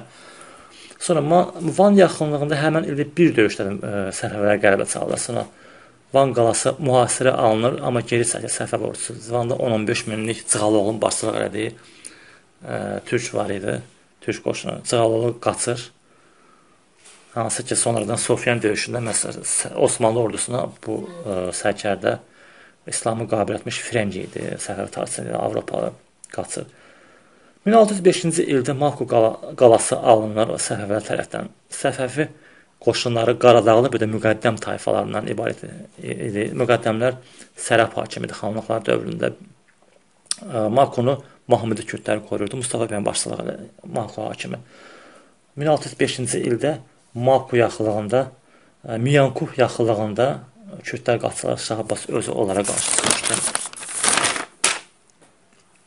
Nəhayət 1605-ci ildə Sufyan yaxınlığında əsas böyük döyüş olur Osmanlı ordusu ilə Səfəvi ordusu arasında. Bu ə, nəinki Şah Abbasın ən böyük döyüşü idi. Ümumiyyətlə bu son ə, bir əsrdə ən qanlı, ən böyük qələbə idi Osmanlı ordusu, Osmanlı ordusu üzərində. Təsəvvür edin buna kimi dəfələrlə ə, Səfəvilər Osmanlı ordusunu məğlub eləsəydilər, amma bu boyda qoş böyük ordunu məğlub etməmişdilər. Ən böyük qələbə 35 minlik Şah Məhəmməd Xudavəndin dövründə 35 minlik Osmanlı ordusu üzərində idi. Bu döyüşdə 3 dəfə çoxdur. 100 minlik Osmanlı ordusu məğlub edildi. Osmanlı ordusunda türklərlə yaşı Mahmudi, Behesti, bir də Çekari türkləri də var idi bu döyüşdə. Şah Abbas 12-ci yürüşü idi bu o Sufyan döyüşü. O Səfəvi ordusuna kimlər rəhbər başçılıq edirdi? Allahverdi xan Fars hakimi, Zülfüqar xan Azərbaycan bəylərbəyi, yəni Təbriz bəylərbəyi, Gəncəli xan Kirman hakimi, Mir Müqəddəm, Əmir Günəxan Qacar, İrəvan hakimi, Qəmbər bəy Gözböyüşlü, Səlihdarı Ustaclı, Qərçiqay bəy, Əliqulu xan, Divan bəy Başı Şamlı, Allahqulu bəy Qoçbaşı Qacar, Məhəmməd bəy Biqdeli Şamlı, Osmanlı ordusuna ə, komandanı Cığaloğlu idi. Bu nə qədər ə, fikir verir, nə qədər türklər ə, türk paşalar, əmirləri bu döyüşdə öldürüldü. Fikir verin. Mir Şərəf Kürd Cəzirə hakimi idi. Sonra Kosa Kosa Səfər Ərzurum bəylərbəyi öldürüldü bu döyüşdə. Osman Paşa Şam bəylərbəyi öldürüldü bu döyüşdə. Başqa öldürənlər Əli Paşa ə, Zəncir Qıran Rəziyə xanın oğlu və və ə, e, ikinci vəziri vəziri idi. Əsir alınıb bu döyüşdə. Vəzir Əzəm ə, e, Mustafa Paşa əsir alınır. Şir Əhməd Paşa əsir alınır, Qars vəziri. Qazi xanın qarda, ə, e, qardaşı Qorçu xan əsir alınır Kürd. Cəmi bu döyüşdə Səfəvi tarixçisi İskəndər bəy Münşi Türkmən yazır ki, həmin illərdə yaşamış. 60-70 paşa və əmir öldürüldü və ya əsirə edildi bu döyüşdə. Sufyan döyüşü. 1606-cı ildə Gəncə qalası Şah Abbas tərəfindən mühasirəyə alınır. Və Məhəmməd Gəncə qalası təslim olunur. Gəncə, Gəncə qarnizonu hardasa 10 minlik e, Osmanlı qoşunu ibarət. Məhəmməd Paşa əslən Təbrizli idi, əsir düşür, öldü, öldürülür. Gəncə azad edilir Şah Abbas tərəfindən. Bu Gəncə azad ediləndən sonra e, Gürcüstanda olan Lori, Tumanus və Tiflis qalaları döyüşsüz təs təslim olunur. Lorini e, Məhəmməd Paşa Qazaqlar ə, e, Loriyə hakim idi. İtaətini bilir Şah Abbas. Sonra Əbd ə, Tiflisi Əbdüllətif Paşa komandanlıq edirdi Tiflis qarnizonuna, hansı ki itaətini bilir. Bir çox türklər hətta ə, o Şah Abbası itaətini bilir ona xidmət eləməyi üstün tutublar. Osmanlı öz ölkələrinə qayıtmaqdan çox. Sonra 1606-cı ildə Şamaxı qalası mühasirə alınır. Böyük döyüşlər olur. 3 ay yaxın döyüş olur Şama. 2-3 min türk qırılıb döyüşdə. Bütün o əmirlər, hansı ki Sofyan döyüşündə bir çox əmirlər bu döyüşdə də iştirak edir. Şah Abbasın 14-cü yürüşü idi. Şamaxı qarnizonu Əhməd Paşa, Şəmsəddin Paşa, Paşa bir də Kiçik Həsən başçılıq edirdi. Şamaxı qalası azad edilir Səfəvi ordusu tərəfindən. Böyük döyüş e, oldu, çətinlik oldu. 1600 həmin ildə Dərbənd qalası ə, e, o Səfəvi ordusu tərəfindən azad edilir. Dərbənd qarnizonu Həsən Paşa Kərəz hansı itaatini bildirir. Sonra bu e, yürüşdə, bu mühasirədə qayıtda sonra Dağıstan hakimlərinin qüvvələri iştirak etmişdi. 1606-cı ildə Becəkürt qalası alınır Sursədə Səhəvlər tərəfindən. Sonra ə, Məğair yaxınlığında Qars ə, hakiminin qüvvələri məğlub edilir. Sonra Mako, Bayazid, Qars qalaları hamısı döyüşsüz alınır. Qars qalasına komandan Osman Paşa qaçır. 1607-ci ildə Muş yaxınlığında Əmir Günə xan Çıxusat hakimi Osmanlıları yenidən məğlub edir. Fikir versəz gör, nə qədər ancaq qələbədən qələbəyə uçurdu. Səfəvi ordu Şah 1-ci Abbasın. Bu nə qədər böyük fərq var idi. Şah Abbasın vaxtında əvvəlki hökmdarın vaxtında, Səfəvilərin əvvəlki vaxtlarından müqayisədə görə nə qədər böyük fərq var. 1610-cu ildə Ərzurum yaxınlığında 10 minlik Osmanlı qoşunu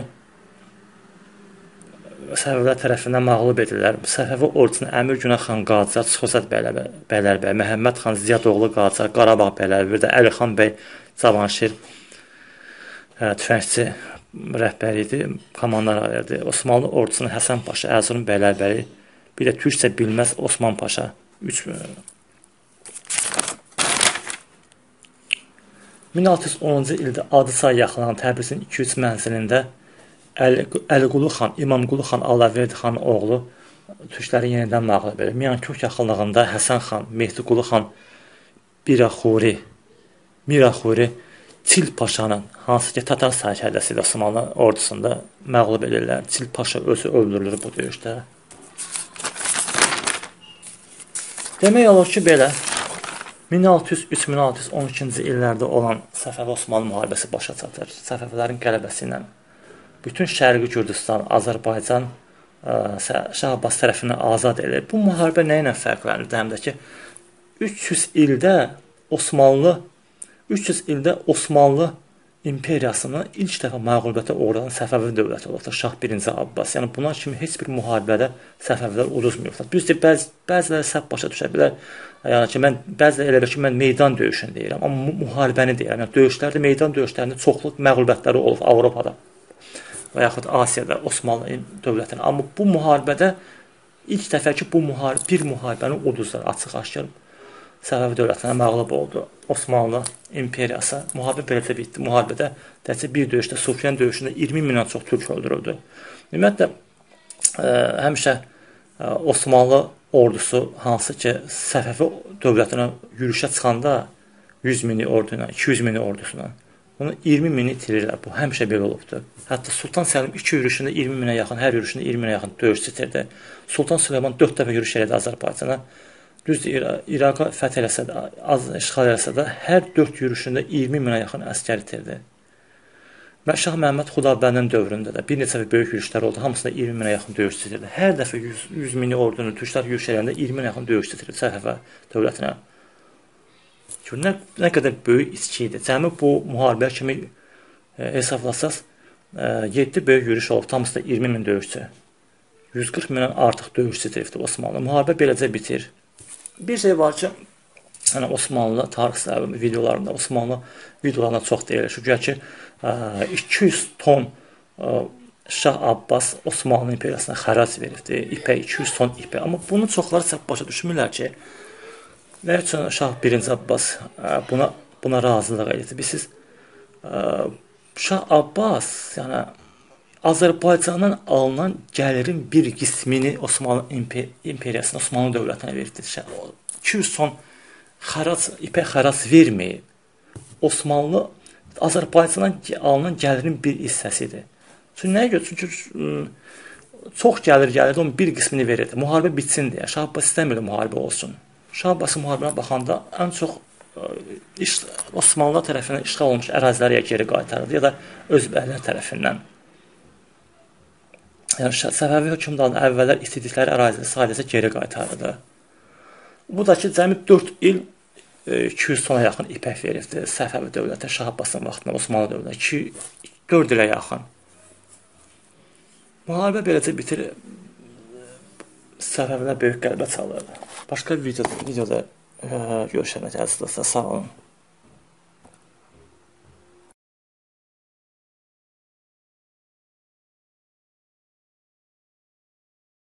1607-ci 1608-ci illərdə Tabasaran sultanlığı ilə bir hərbi toqquşma olub qızılbaşlar arasında. Osmanlı imperiyasının tərkibində olan dövrdə burada başlı başlı başlanğıc idi həmin ərazidə. Ona görə dövlət tərəfindən qərar alınır ki, Təbəssəran hakiminin ərazisində qala tikilsin. Şah 1-ci Abbas Şirvan bəylərbəyi Zülfüqar xana belə bir əmr vermişdi. Amma bu qərar Təbəssəran sultanı Təbəssəran yəni Dağıstan cənubunda Azərbaycanla həmsərhəd ərazidə yerləşir. Təbəssəran hakimi Məsum xana bu Məsum xanın bu xoşuna gəlməmişdi. Ona görə ə, Şirvan bəylərbəyinə bu əmri yerinə yetirməyə mane olmaq istəyirdi. Qəflən 10 minlik ordu ilə Qızılbaşdan sonra hücuma keçdi. Zülfüqar xan əvvəlcə ə, yaxşı, yəni sülhlə müraciət elədi ki, Məsum xana, yəni sən bu qalanın tikilməsində mane olma, çünki sən heç bir ziyanı olmayacaq bu qala. Amma Məsum xan ona fikir vermədi, amma döyüşə girişdi Qızılbaşdan, amma məğlub olub geri çəkildi. Zülfüqar xan Tabasaran ordusunu məğlub etdi. Bu döyüşdə minə yaxın Tabasaranlı həlak oldu. Amma bundan sonra yəni öz Məsum xan Tabasaran sultanı üzrxahlıq elədi, Şah 1-ci Abbasdan əfv edildi.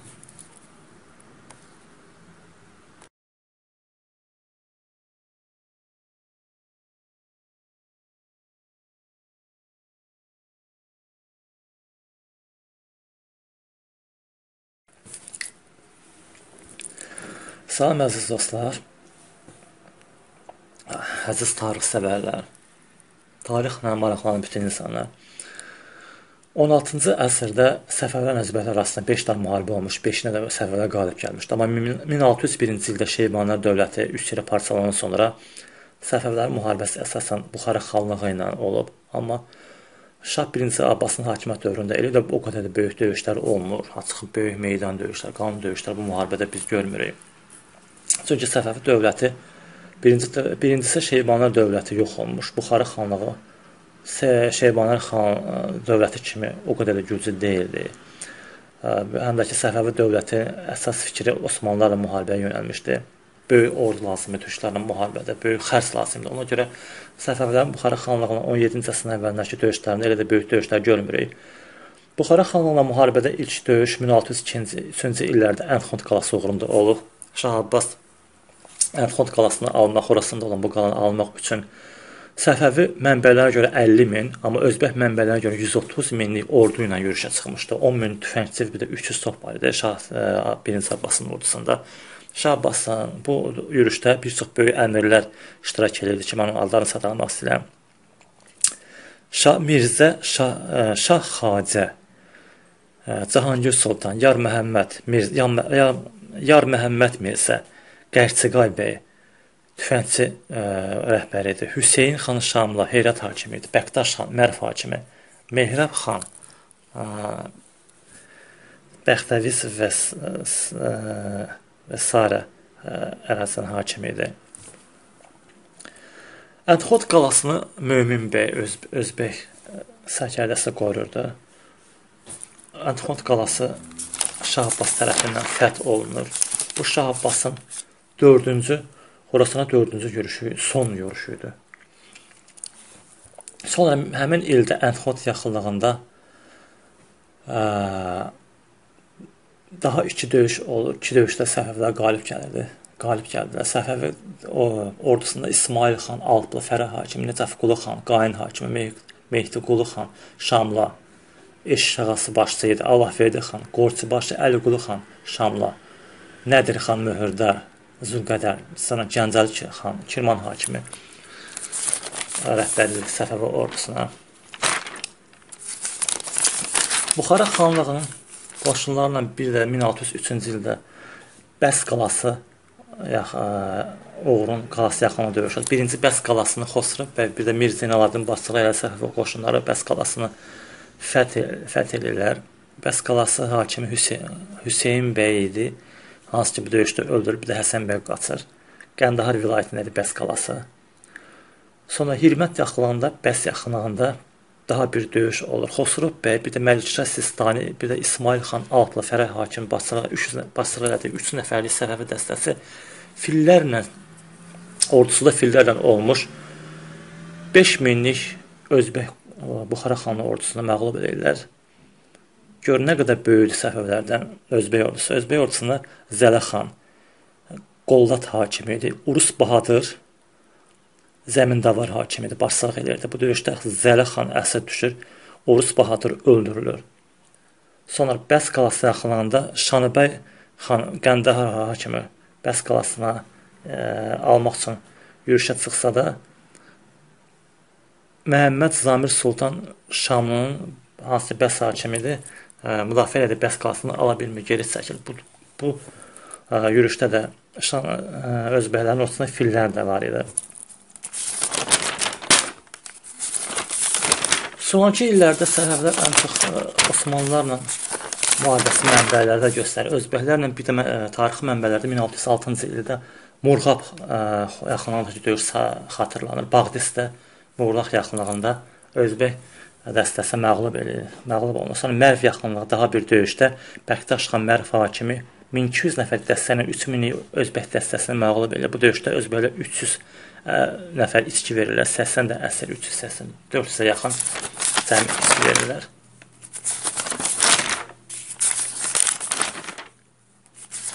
Sonra Səfəvilərlə Buxara xanlığının qoşunları arasında bir döyüşdə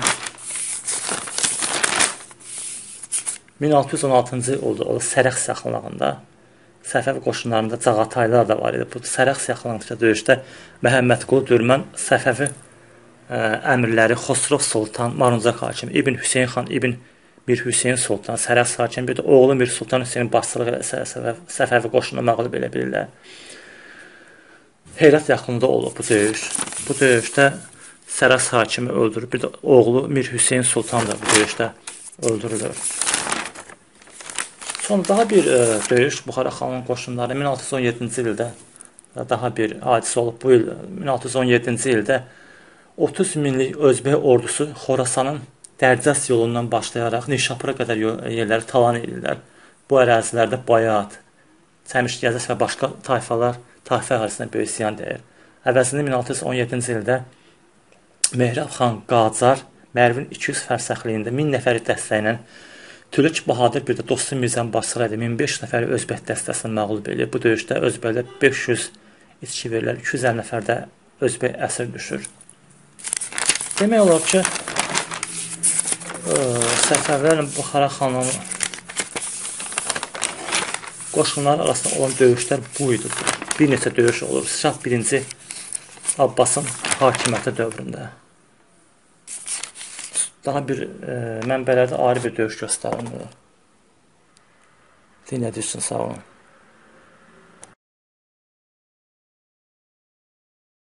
(1616-1618-ci illər Səfəvi Osmanlı müharibəsi belə başlayır. 1616-cı ildə Kürdlər hücum eləyib Səlmas yaxınlığında olan Qarnıyarıq qalasını alırlar. Daha sonra həmin ildə Səlmas yaxınlığında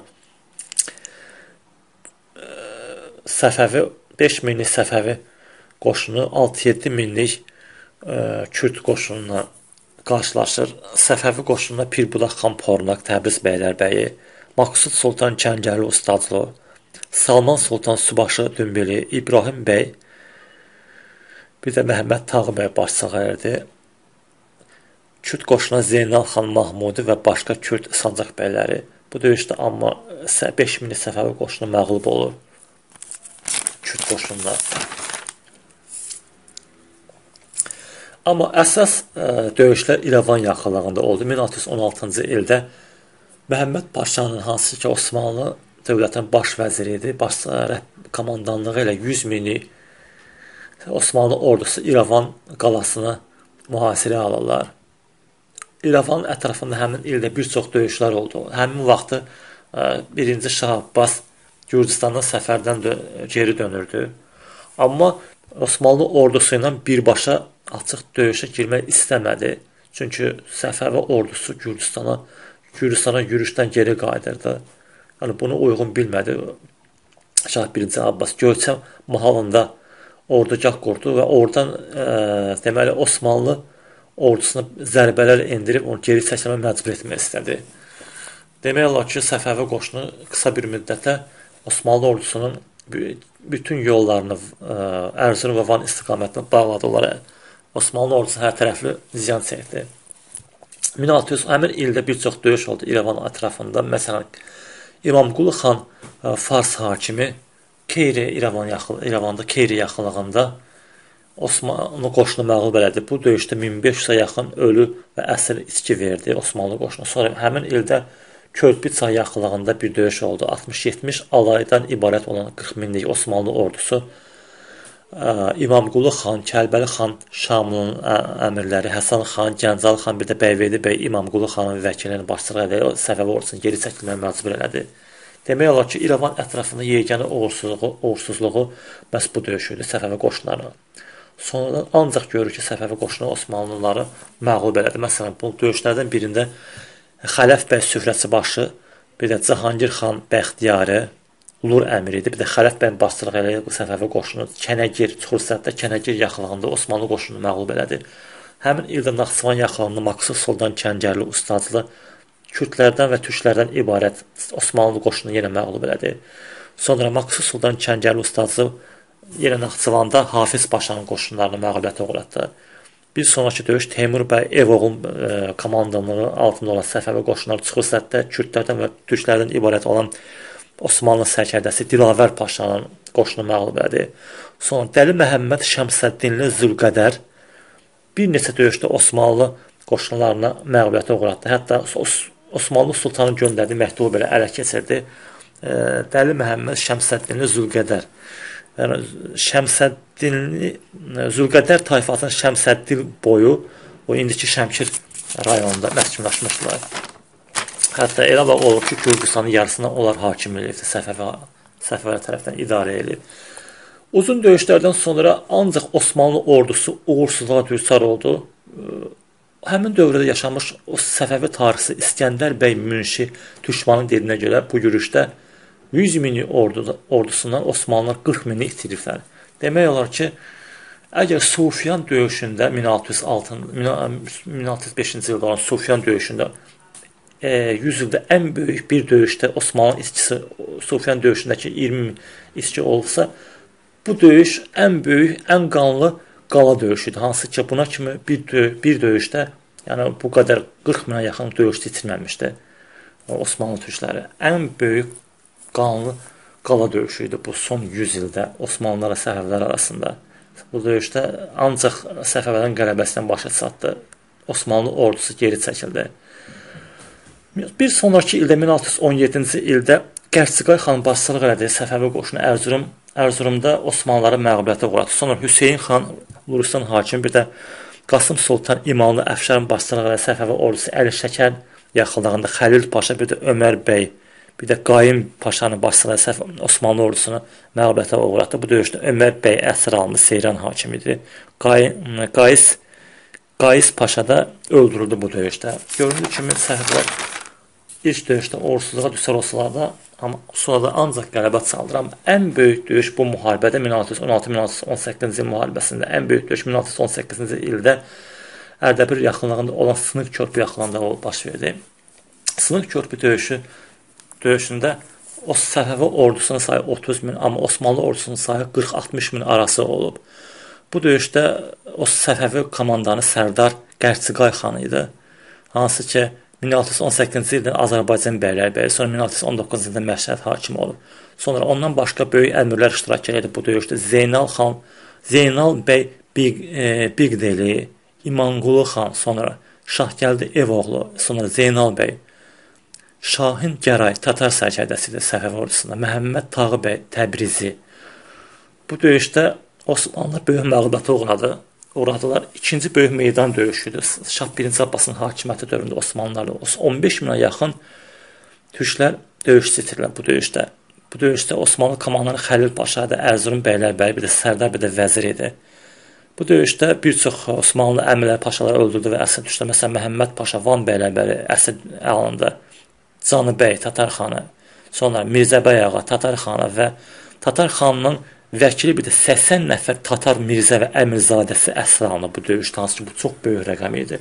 1618-ci ildə 2 il davam edən bu müharibə beləcə ə, Səfəvi dövlətinin qələbəsi ilə bitdi.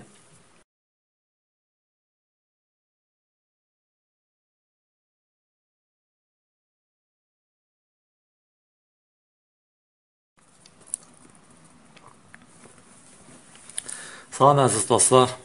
Bugünkü video 1613-1625 Səfəvi Gürcü müharibələri haqqındadır. Əvvəlcə mən onu bildirmək istəyirəm ki, 16-cı əsrdə yəni, ən birinci Səfəvilər Şirvana yürüş öncəsi Gürcüstana yürüş eləmişdilər o dövrdə. Sonra ə, bu yürüşdən Səfəvilər bol qənimətlə qayıtmışdılar. Amma Səfəv dövləti yaranandan sonra Şeyx İsmail özünü şah elan edəndən sonra daha 6 dəfə Səfəvilər Gürcüstana yürüş eləmişdi. Gürcüstanda Şərqi Gürcüstan o dövrdə 4 padşahlığa bölmüşdü. Kartli, Kaxetiya, Mesxi, bir də Emiretiya. Demək olar ki, Səfəvilər bu padşahların hamısını tabe etmişlər. Bir çox döyüşlər oldu. Hamısında da Səfəvilər qalib gəlmişlər Şah İsmayıl hakimiyyəti dövründə. Amma Şah İsmayıl vəfat edən ildən sonra Gürcü padşahlıqları, hakimli, hakimləri Səfəv dövlətinə tabe olmaq istəməmişdi. Şah ə, Təhmasib hakimiyyətə gələndə çox gənc idi, 10 yaşı var idi. Həmin dövrdə demək olar ki, bütün ə, Gürcü padşahlıqları hakimiyyətə Səfəvlərə tabe olmaqdan boyun qaçırmışdı. Ə, o dövrdə özbəklərlə bir çox döyüşlər oldu. Şah Təhmasib ən birinci 1624-cü ildə Səfəvi dövlətinin vətəndaş müharibəsi oldu. Qızılbaş əmirləri yüksək mənsəb uğrunda bir-birləri ilə müharibə edirdilər. Ə, Sonra özbəklərlə müharibə başladı. Özbəklər Xorasana, Tehrana yaxınlaşdılar. Səfəvi dövləti məhv olmaq təhlükəsi var idi. 4 dəfə Şah 1-ci Təhmasib özbəklər üzərinə yürüş elədi. Özbəklər tamamilə Xorasandan qovub çıxartdı. Sonradan türklərlə müharibə başladı. Sonra ölkə daxilində çoxluq qiyam olduğuna görə 1600 1541-ci ilə kimi demək olar ki, Şah 1-ci Təhmasib Gürcüstana yürüş elə bilmirdi. Ona görə 1524-cü ildə təxminən 1500 41-ci ilə kimi 16 il demək olar ki, gürcülər Səfəvlərə tabe olmamışdı. Amma nəhayət 1541-ci ildə Səfər Şah 1-ci Təhmasib Gürcüstana böyük ordu ilə yürüş elədi. Demək olar ki, bütün gürcü padşahları Səfəvlərə tabe oldu. Bir Kartli padşahından başqa Kartli padşahı Laursab Gürcü 20 düz oğlu Simanla bir yerdə, yəni ondan sonra da Siman hakimiyyəti oldu. 27 il Səfəvilərlə mübarizə apardı. Bu dövrdə Şah Təhmasib 4 dəfə Gürcüstana yürüş elədi. Əlavə 6 dəfə əmirlər yürüş elədi Gürcüstana. 10 dəfə Səfəvilər Şah 1-ci Təhmasibin hakimiyyəti dövründə Gürcüstana yürüş elədilər. Sonra ən axırda 1568-ci ildə Kartli padşahı nəhayət ki, ram edildi. Simaun əsir alındı. Düz Şah 1-ci Təhmasibin hakimiyyətinin sonuna kimi Səfəvi dövlətində zindanda dustaq oldu. Amma Şah 1-ci Təhmasib vəfat edəndən sonra o azad edildi yenə Kartli padşahı, o Kartli hakimi oldu. Səfəvilər tabe oldu. Bundan sonra 1578-ci ildə e, Osmanlı qoş qoşunları Şərqi Gürcüstanı işğal edir. Amma Siman Qarabağ bəylərbəyindən zəfərlərlə türklərə qarşı döyüşdü. Amma 30 ilə yaxın Şərqi Gürcüstan Osmanlıların hakimiyyəti altında oldu. Bir nəhayət Şah 1-ci Abbas Azərbaycanı işte Azərbaycan Osmanlılardan azad eləyəndən sonra Şərqi Gürcüstanı da azad elədi. Demək olar ki, döyüşsüz azad elədi. Bütün Osmanlı hakimləri Səfəvərə tabe oldu, ilə çıxıb getdilər. 1612-ci ildən bəri sakitlik, amma 1600 1613-cü ildə Kaxet valisi Təhmiras qiyam eləyir, işte Səfəvərə tabe olmaq istəmir. Şah Abbas onun üzərinə özü yürüş edir. Gürcüstana Şah Abbasın birinci yürüşü idi. Cəmi Şah 1-ci Abbasın hakimiyyət dövründə 16-cı yürüşü idi. 1614-cü ildə Torağa qalası Məhəmməd Tağı bəy Təbrizi tərəf, yəni minbaşı əmri idi, tüfəngçi minbaşısının əmri idi və minbaşısı idi, tüfəngçi minbaşısı. Torağa qalasını Mesxdə alır. Sonra Bəyverdi bəy Gürcü Fars bəylər bəyinin mülazimi Us yaxınlığında baş açıqda, yəni Emirətdə həmin ildə Gürcülərə məğlub edir. Gürcülər düz 500-ə yaxın ə, əsir içki verirlər, əsir içki verirlər. Amma bu Gürcüstana ümumiyyətlə yürüşdə Qızılbaşda düz 30 min əsirlə geri qayıdırlar. Amma yenə də Kaxet valisi Təymurası, yəni Teymurazı Gürcüdə Teymuraz, yəni səbəblər olan Teymuraz deyə tam ram eləmək olmadı. Yəni o Gürcüstan Gürcü padşah hakimləri bir çox sığınaqlar var. Gürcüstan dağlarında, Şimal Qafqaz dağlarında ki, ora sığınırdılar. Yəni tamamilə məhv edə bilmirdi ona görə. Birinci Təhmasibin dövründə də belə olmuşdu. Bundan sonra Şirvanla Şirvanlı Məlik Piri adlı bir qiyam edilsi, yəni Təhmirasa qoşulur. 1615-ci ildə Ərəkçay yaxınlığında böyük döyüş olur. Təhmiras 15 min, 5-6 minlik qüvvənin 15 minlik Səfəvi ordusunu məğlub edir. Kartov Kaxet arasında axan Ərəkçay sahilində. Bu dövrdə Səfəvi ordusuna Səfəvi onda bir çox böyük əmirlər var idi. Əliqulu xan, Əliqulu xan, sonra İsfandiyar bəy, Məhəmməd xan Ziyadoğlu Qacar, Peykər Sultan bu öldürüldü bu döyüşdə. Peykər Sultan 24 sonra iştirak eləmişdi. 24-lər Qacar tayfasının bir qolu idi, Bərdəni idarə edirdi. Dəli Məhəmməd Sultan Şəmsəddinlə Şəmkir yanındakı, sonra Hüseyn xan Gilani, Gilanın Hithəm hakimi, Hüseynqulu bəy Yadigar, Talış yüzbaşısı öldü bu döyüşdə. Sonra Gilan Gilanın Hithəm hakimi bu döyüşdə öldürüldü. Sonra bir çox əmirlər öldü. Sonra ə, İshaq Sultan Mir Seyfi yaralandı bu döyüşdə. Sonra Hüseyn xan Yadigar dedim Talış yüzbaşısı bu döyüşdə öldürülür. Sonra Murtaza Qulu xan və s. Bu döyüşdə yenə görüldüyü kimi Təhmiras uğur qazandı. 1616-cı ildə Şah Abbas ikinci dəfə Gürcüstana yürüş eləyir. Sığnaq yaxınında əvvəlcə Hüseyn bəy Zülqədər Şəmsəddinli 300-400 nəfər dəstənin 10 minlik Gürcü qoşuna məğlub oldu. Bir nəfər demək olar ki, bir neçə nəfər xilas olurdu. Qanıq çayında, Qanıq çayı sahilində olub bu döyüş Kaxetiyada. Amma Gərçiqay bəy 1616-cı ildə Sığnaq yaxınında Kaxetiyada həmin 10 minlik Gürcü qoşuna darmadağın edir. Gürcüdə çoxlu içki verilir. Sonra Yusuf xan Şirvan bəylərbəyi 1616-cı ildə həmin ildə Zəkəm yaxınlığında Kaxetiyada yenə Gürcülərə məğlub edir. Bu da yürüş ümumiyyətlə Səfəvilərin təxminən 20-ci yürüşü idi Gürcüstana Səfəv dövləti yaranan bəri. Bu döyüş 1616-cı ildə bu yürüşdə düz ə, Səfəvi 60-70 min nəfər Gürcünü məhv elədilər. Bəzi qaynaqlara görə əsir düşənlərin sayı 130 min, 160 min və yaxud 200 min adam idi əsir düşdü Kaxetiyada. Kaxetiya əhalisinin demək ki, 3-sə 2-si əsir aparıldı ya da məhv oldu. Bu yürüşdə Şah Abbas yaraşı Əliqulu xan, Yusif xan, Nədir xan, Zülqədər möhürdə sonra Kərbəli xan, Şərbəli və Şamlı bir çox böyük əmirlər ə, iştirak edir. Yenə amma Təhmiras yenə də aradan çıxa bildi. Təhmirasdan məhv eləmək olmadı bu yürüşdə. Sonra gürcülərlə sonradan daha bir neçə döyüş olur. 1616-cı ildə Qesk vilayətinə Kaxetiyada böyük döyüş olur 10 minlik Gürcü qoşunundan. Gürcü ordusuna Dəli Məlik Şirvani, yəni Şirvan qiyamçısı Davud Gürcü, bir də Təhmuras Geski, Təhmasib Geski başçılıq edirdi. Səfəvi ordusuna İsa xan Qorçubaşı, Həsən Həsənəli bəy 24 bu döyüşdə öldürüldü. Bəqdar bəy yüzbaşı, sonra bu da öldürüldü. Ev oğlu, ev oğlu Tərtərdə məscun salmışdılar. Sonra Mirfətdə minbaşı İsfahani öldürüldü bu döyüşdə. Amma Səfəvi qoşunu Gürcüləri məğlub edə bildi 1616-cı ildə bu döyüşdə. Sonra daha bir neçə döyüş olur sonra.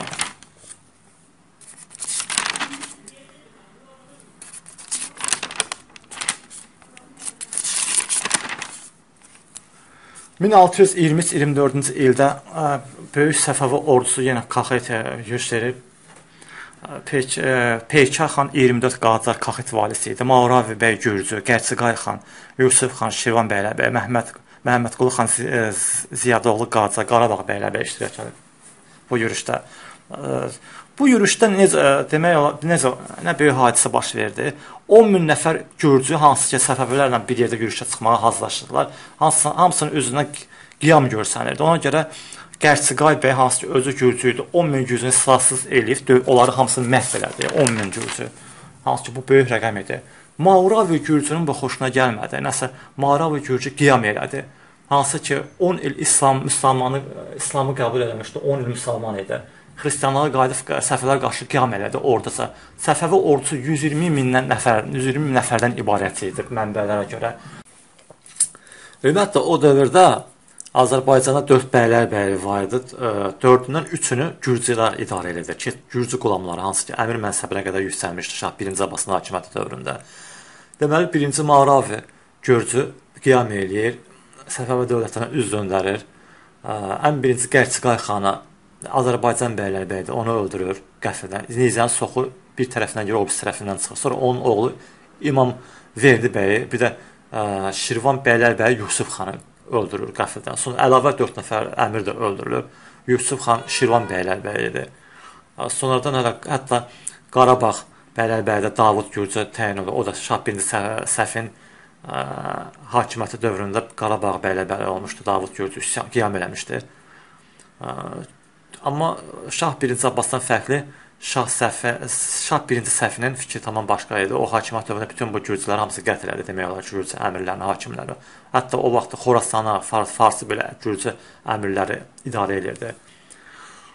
Belə bir şey bir də Sovet İttifaqını görmək olar. Bir çox gürcülər Stalin, Gürcüstan, məsələn, Sovet İttifaqının rəhbəri idi, sonra Ocaqizli Fransa, Gürcüstan SSR-in bir çox bölgələrini gürcülər idarə edirdi. Bundan sonra 120 minlik Səfəvi ordusu geri çəkilir, əmirlərsiz, başçılarsız qalmış. 7 gün ərzində mənbələrə görə gürcülər 120 minlik Səfəvi ordusunu 70 minə qırırlar. Sonra çoxlu ə, əsir götürürlər. Ta, o ki var Taliyyə Səfəvi ordusuna. Həmin ildə 1624-cü ildə Kürd sahilində Peykar xan 24 Qaca geri çəkilərkən yenə Maravi Gürcana çatıb onu məğlub eləyir. Sonra sonra Maravi Gürcü nə edir? Qırlanquc qalasına alır, sanki döyüşsüz. Orada 50 xarvar, xarvar ipək əldə eləyir. Bundan sonra Tiflisi mühasirəyə alır. Tiflisi Səfəvi əmrləri Nuri bir də ki Şatır şahı müdafiə edirdi, amma onlar Maravi Gürcünə qədər dirək tutsa da onlar təslim olmurlar Gürcülərə, Maraviyə. Sonra bundan sonra Maravi Gürcü hətta Azərbaycana yürüş edir. 1624-cü ildə Gəncəni döyüşsüz alır. Gəncədə çoxlu Gəncəni ok var talan eləyir. Buna görədir ki, bir müddət Şah 1-ci Abbas Qarabağ bəylərbəylikdən İziyadoğlu nəslini kənar edir, ora Davud Gürcünü təyin edir. Şah 1-ci Abbasın da belə qəribə əmrləri var idi. Yəni ə, fərmanları. Yəni, yəni görürdü ki, Marava gücü qiyam edir. Bu qədər Səfəvilərə ziyan yetirdi. Bu qədər belə 70 min səf qızılbaş öldürüldü 7 gün ərzində Gürcüstanda. Şükür Osmanlılarla 30 illik müharibələrdə, müharibədə Şah 1-ci Abbasın hakimiyyət dövründə bu qədər itkilər verməmişdi qızılbaşlar. Amma görürsüz, təzədən bir də Gürcünü, başqa Gürcünü Qarabağa bəylərbəyə təyin eləyir. Həqiqətən başa düşmək olmur. Deyirsiniz, qızılbaş əmrlərə fərqli Gürcü qulamları sanki daha etibarlıdır, mərkəzə birbaşa vergi verirdilər. Qızılbaş əmirlər kimi soyuq tala bilmirlər, yəni özlərinə çox şey götürə bilmirlər. Amma yenə də çox bunlar bunlar da etibarsızdır, bunu göstərdi. Gəncəni al alır sonra 2 ay ərzində demək olar ki, Marava Gürcü Şərqi Gürcüstanı tamamilə qızılbaşlardan azad edildi. Bu 70 min bu qədər bu böyük məğlubiyyəti eşidən Şah 1-ci Abbas deyilənə görə hətta o qədər pis olmuşdu, 800 min otağından çıxmamışdı. Amma 1625-ci ildə gələn il 80 minlik yeni ordu göndərir Gürcüstan yürüşə. Gürcüstana yürüşə Sərdar İsaxan Qorçubaşı idi. Ondan əlavə Qazax xan Çərkəz, keçmiş Gilan Lahıcan Darıqas, yeni Şirvan bəylərbəyi idi. Sonra Əmirgünə xan Qacar, Şahbəndə xan Azərbaycan Təbriz bəylərbəyi, İmamqulu xan Fars bəylərbəyi idi. İki ordu, 20 minlik ordu ilə Marava Gürcü onları Tiflis yaxınına qarşılaşdı. Tiflis yaxınlığında Gümüşlü adlanan yerdə Algetçay sahilində 1 iyulda 1625-də böyük döyüş olur. Hər iki tərəfdən 100 minlik döyüşçünə iştirak elədi. Marav və Gürcü ordusuna Marav idi başçılıq edən.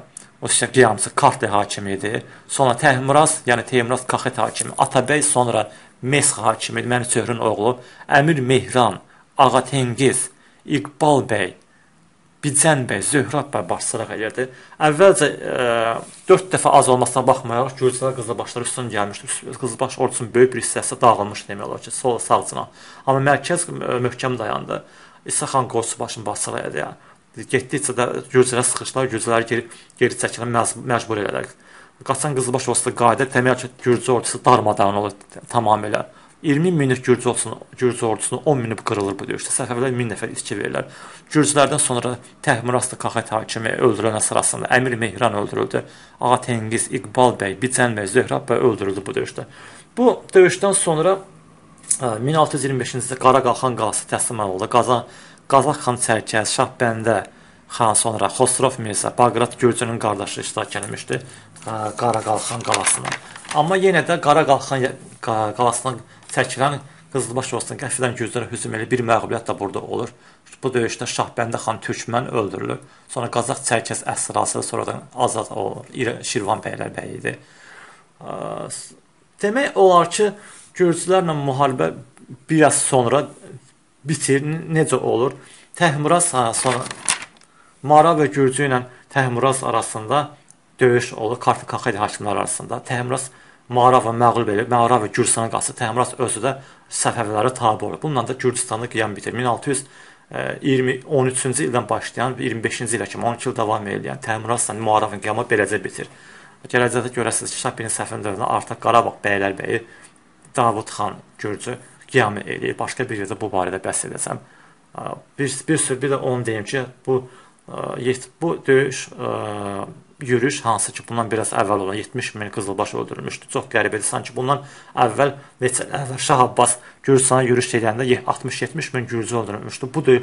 Sonra Səfəvlərin bu yürüşündə yürüşündə o qədər təxminən qızılbaş öldürüldü.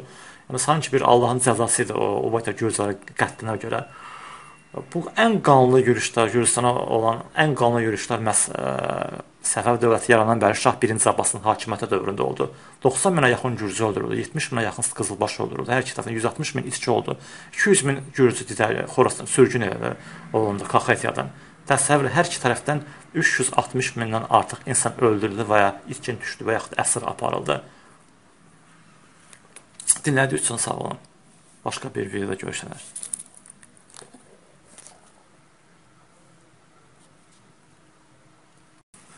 1623-24-cü ildə böyük Səfəvi ordusu yenə Kaxetə edib. Peykar xan 24 Qacar Kaxet valisi idi. Mavravi bəy Gürcü, Qərçiqay xan, Yusuf xan Şirvan bəylər bəy, Məhəmməd Məhəmmədqulu xan Ziyadoğlu Qacar Qarabağ bəylər bəy iştirak edib bu yürüşdə. Bu yürüşdə necə demək olar, necə nə böyük hadisə baş verdi. 10 min nəfər gürcü hansı ki Səfəvilərlə bir yerdə yürüşə çıxmağa hazırlaşırdılar. Hansı hamısının üzünə qiyam görsənirdi. Ona görə Qərçiqay bəy hansı ki özü gürcü idi, 10 min gürcünü silahsız eləyib onları hamısını məhv elədi. 10 min gürcü. Hansı ki bu böyük rəqəm idi. Mavravi gürcünün bu xoşuna gəlmədi. Nəsə Mavravi gürcü qiyam elədi. Hansı ki 10 il İslam müsəlmanı İslamı qəbul eləmişdi, 10 il müsəlman idi xristianlığa qayıdıb Səfəvilər qarşı qiyam elədi ordusa. Səfəvi ordusu 120 mindən nəfər, 120 min nəfərdən ibarət idi mənbələrə görə. Ümumiyyətlə o dövrdə Azərbaycanda 4 bəylər bəyi var idi. 4-dən 3-ünü gürcülər idarə edirdi. Ki, gürcü qulamları hansı ki, əmir mənsəbinə qədər yüksəlmişdi Şah 1-ci Abbasın hakimiyyəti dövründə. Deməli 1-ci Maravi gürcü qiyam eləyir, Səfəvi dövlətinə üz döndərir. Ən birinci Qərçiqay xana Azərbaycan bəylərbəyidir, onu öldürür qəfildən. Nizənin soxu bir tərəfindən görə o bir tərəfindən çıxır. Sonra onun oğlu İmam Verdi bəyi, bir də ə, Şirvan bəylərbəyi Yusuf xanı öldürür qəfildən. Sonra əlavə 4 nəfər əmir də öldürülür. Yusuf xan Şirvan bəylərbəyidir. Sonradan hələ hətta Qarabağ bəylərbəyində Davud Gürcə təyin olunur. O da Şah 1-ci Səfin ə, hakimiyyəti dövründə Qarabağ bəylərbəyi olmuşdu. Davud Gürcə üsyan qiyam eləmişdi. Ə, Amma Şah 1-ci Abbasdan fərqli Şah Səfə Şah 1-ci Səfinin fikri tamam başqa idi. O hakimiyyət dövründə bütün bu gürcülər hamısı qətl elədi demək olar ki, gürcü əmirlərini, hakimləri. Hətta o vaxt Xorasana, Fars, Farsı belə gürcü əmirləri idarə edirdi. Belə bir şey bir də Sovet e, İttifaqını görmək olar. Bir çox gürcülər e, Stalin, Gürcüstan, e, məsələn, Sovet İttifaqının rəhbəri idi. Sonra o cənə ki, Fransa, Gürcüstan, SSR-in bir çox bölgələrini gürcülər idarə edirdi.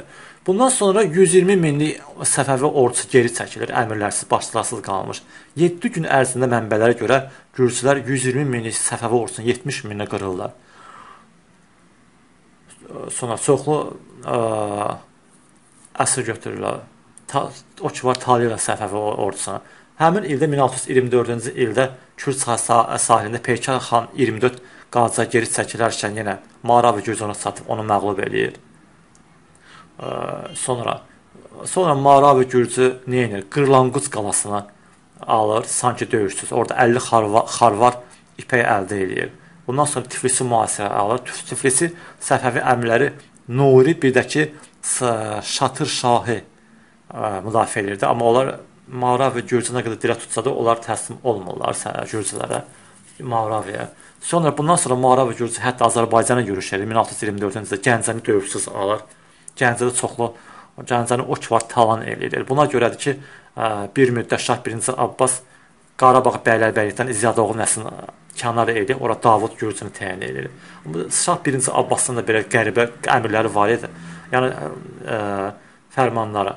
Yəni, yəni görürdü ki, Marav və Gürcü edir. Bu qədər Səfəvilərə ziyan yetirdi. Bu qədər belə 70 min səf qızılbaş öldürüldü 7 gün ərzində Gürcüstanda. Osmanlılarla 30 illik müharibələrdə, müharibədə Şah birinci Abbasın hakimiyyət dövründə bu qədər iskilər verməmişdi qızılbaşlar. Amma görürsüz, bu tərzdən bir də Gürcünü, başqa Gürcünü Qarabağa bəylərbəyə təyin eləyir. Həqiqətən başa düşmək olmur.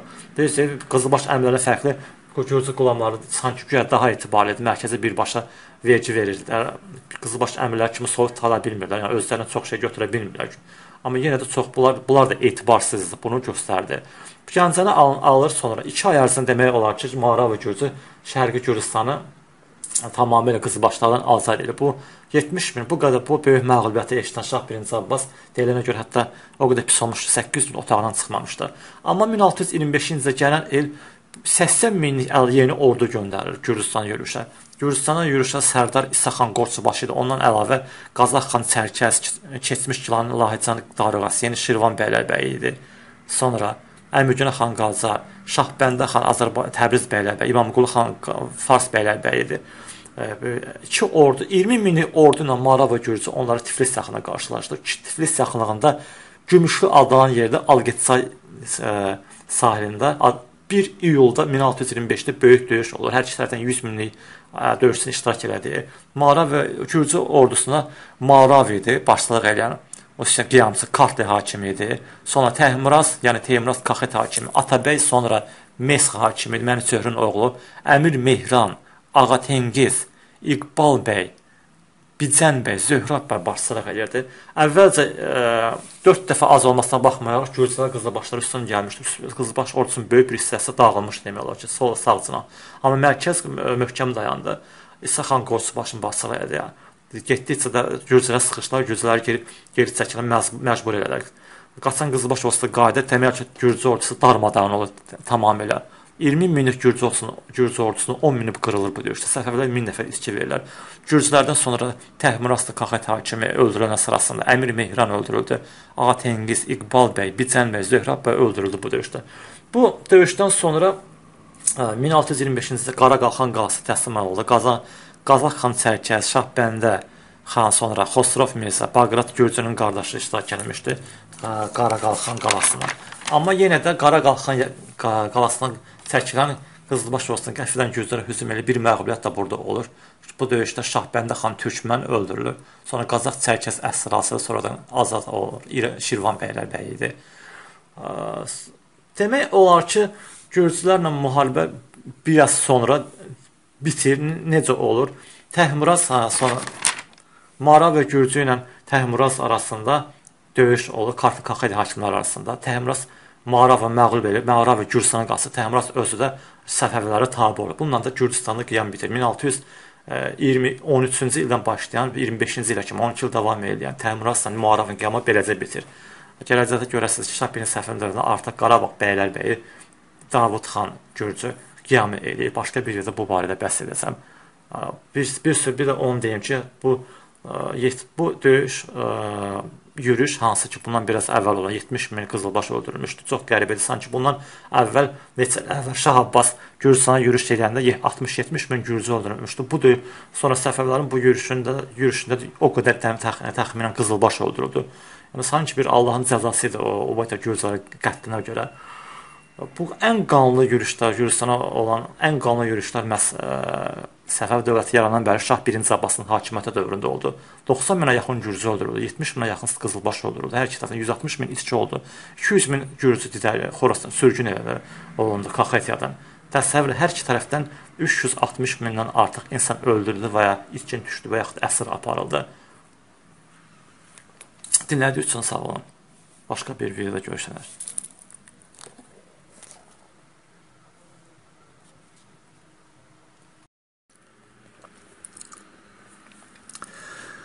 Portuqaliyalar ə, Hörmüz boğazını 1507-ci ildə işğal etmişlər. Portu Portuqaliyalıların işğal etdiyi ərazilər ə, bir Hörmüz boğazındakı Geşim adası idi. Hansı ki Azərbaycanın yarısı boyutdaydı. Bu bu adanın uzunluğu 180 kilometrdir.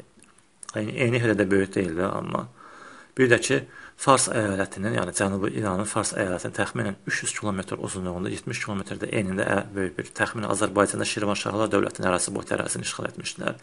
1507-ci 1515-ci illərdə təxminən e, 8 Portuqaliya ilə döyüşlər oldu. Amma Şah 1-ci İsmailin e, hakimiyyəti dövründə Portuqaliyalara Portuqaliyaları Hörmüz boğazından qovmaq müəssər olmamışdı. Şah İsmail Xətainin hakimiyyəti dövründə 37 müharibə ol olmuşdur ki, istəyir ölkə daxilindəki qiyam, qiyamlar və yaxud xarici düşmənlərlə və 37 müharibənin və 37 müharibənin cəmi 2 müharibə 2 müharibə uğursuzluqla olmuşdu. Biri də ki, biri bu Osmanlı dövlətindən idi. Osmanlı dövlətinə olan müharibə idi. Bir də ki, Portuqaliya olan müharibə idi.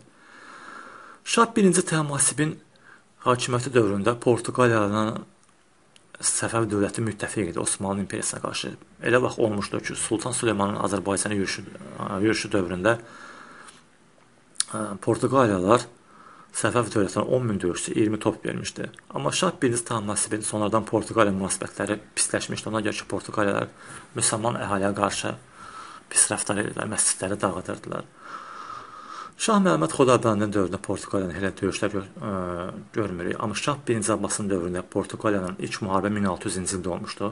Bəhreyn adası üstündə, yəni ə, Səfəvi əmirləri olan Xacə Müəyyənəddin bir də Mir Yusif Şah Fars bəylərlərinin sərkərdələri Bəhrəni fəth etdilər. Bəhri Hörmüz boğazında Portuqaliya qoşunlarla bir də Hörmüz Hörmüzün hərbi qüvvələrindən Hörmüz əmirliyin döyüşdə getdi. Amma həm quruda, həm də dənizdə olan bütün döyüşlərdə Səfəvilər qalib gəlmişdi. Bəhrin adası Səfəvi dövlətinin tərəfindən fəth edilmişdi. Portuqaliyanın bir sonrakı döyüşlər ə, təxminən 1621-ci ilə ilə kimi bir, döyüşdə olmuşdu. İmamqulu xan Fars bəylərbəyi Bəndər Abbas qalasını almışdı cənubi Fars əyalətində, İranın cənubunda. Amma əsasən Portuqaliyanın qovulması 1621-ci ilə təsadüf eləyir. Şah 1-ci Abbas Qəndahar üzərinə yürüş edərkən həm də ki ə, Portuqaliyanın qovulması üçün, bütün Portuqaliyanın alması üçün Fars bəylərbəyinin qoşunu göndərmişdi həmin əraziyə. Bu ə, döyüş müharibədə İngilis İngiltərə hərbi qüvvələri də Səfəvilərlə müttəfiq idi. Əvvəlcə 1621-ci ildə İmamqulu xan Fars bəylərbəyi, sonra Bəyverdi xan Eşxası, bir də Büsat bəy Geşim adasını fəth edilir. Geşim adasında əsas qala fəth edilir. Hörmüz boğazındadır burada. Sonra yenə həmin ildə əsas qalası Portuqaliyanın Hörmüz qalası üzərinə yürüş olur. Hörmüz qalasına Rui Ferreira Portuqaliya sərkərdəsi kapitanı hakim idi orada. Bir də ki, Hörmüz valisi Mahmud Şah idi. Səfəvi qoşun, 30 min Səfəvi qoşununa, hansı ki, İngilislərin sərəncamına verilmişdi, İngilis gəmiləri iştirak edirdi. Bu konsul çox çətin olacaqdı Portuqaliyanın qovulması. İmam Qulu xan Fars bəylər bəyə Səfəvi ordusuna başçılıq edirdi. O, 1621-ci ildə 2 ay ərzində, 2 ay bir neçə günə Hörmüz qalası Səfəvi və ingilislər tərəfindən fəth edilib. Portuqaliyalar əbədi qovulur Hörmüz boğazından. 100 ilə yaxın Portuqaliyalar Hörmüz boğazında ağalıq eləmişlər. Bütün Səfəvi dövlətinə gələn və yaxud Səfəvi dövlətindən xaricə çıxan gəmilərdən xərac almışlar, təsəvvür edin. Heç bir şah, şah Səfəvi şahın hakimiyyət dövründə Portuqal qovluq oradan müəssər olmamışdı. Ancaq Şah 1-ci Abbasın dövründə, dövründə Portuqaliya əbədi 1621-ci ildə Hörmüz boğazından qovulur. Amma bəzən elə olmuşdu ki, Şah 1-ci Abbasın hakimi dövründə Portuqaliya ittifaq müttəfiq olub Qızılbaşda. Məsələn, Təbriz Təbrizi alarkən 1603-cü ildə ə, Portuqaliya artilleriyası Təbrizi atəşə tutmuşdu.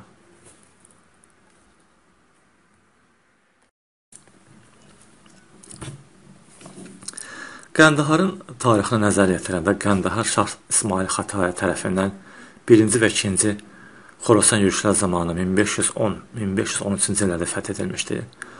Amma 1514-cü ildə Çaldıran döyüşü, döyüşündə Səfəv dövlətinin zəifləməsini istifadə edən Teymurlu Babur ə, təz, Qəndaharı öz dövlətinə ta qatmışdı təxminən 1515-ci ildə. Düz bu Şah birinci Təhmasibin birinci Xorasan, 3-cü Xorasan yürüşünə kimi belə davam etmişdi.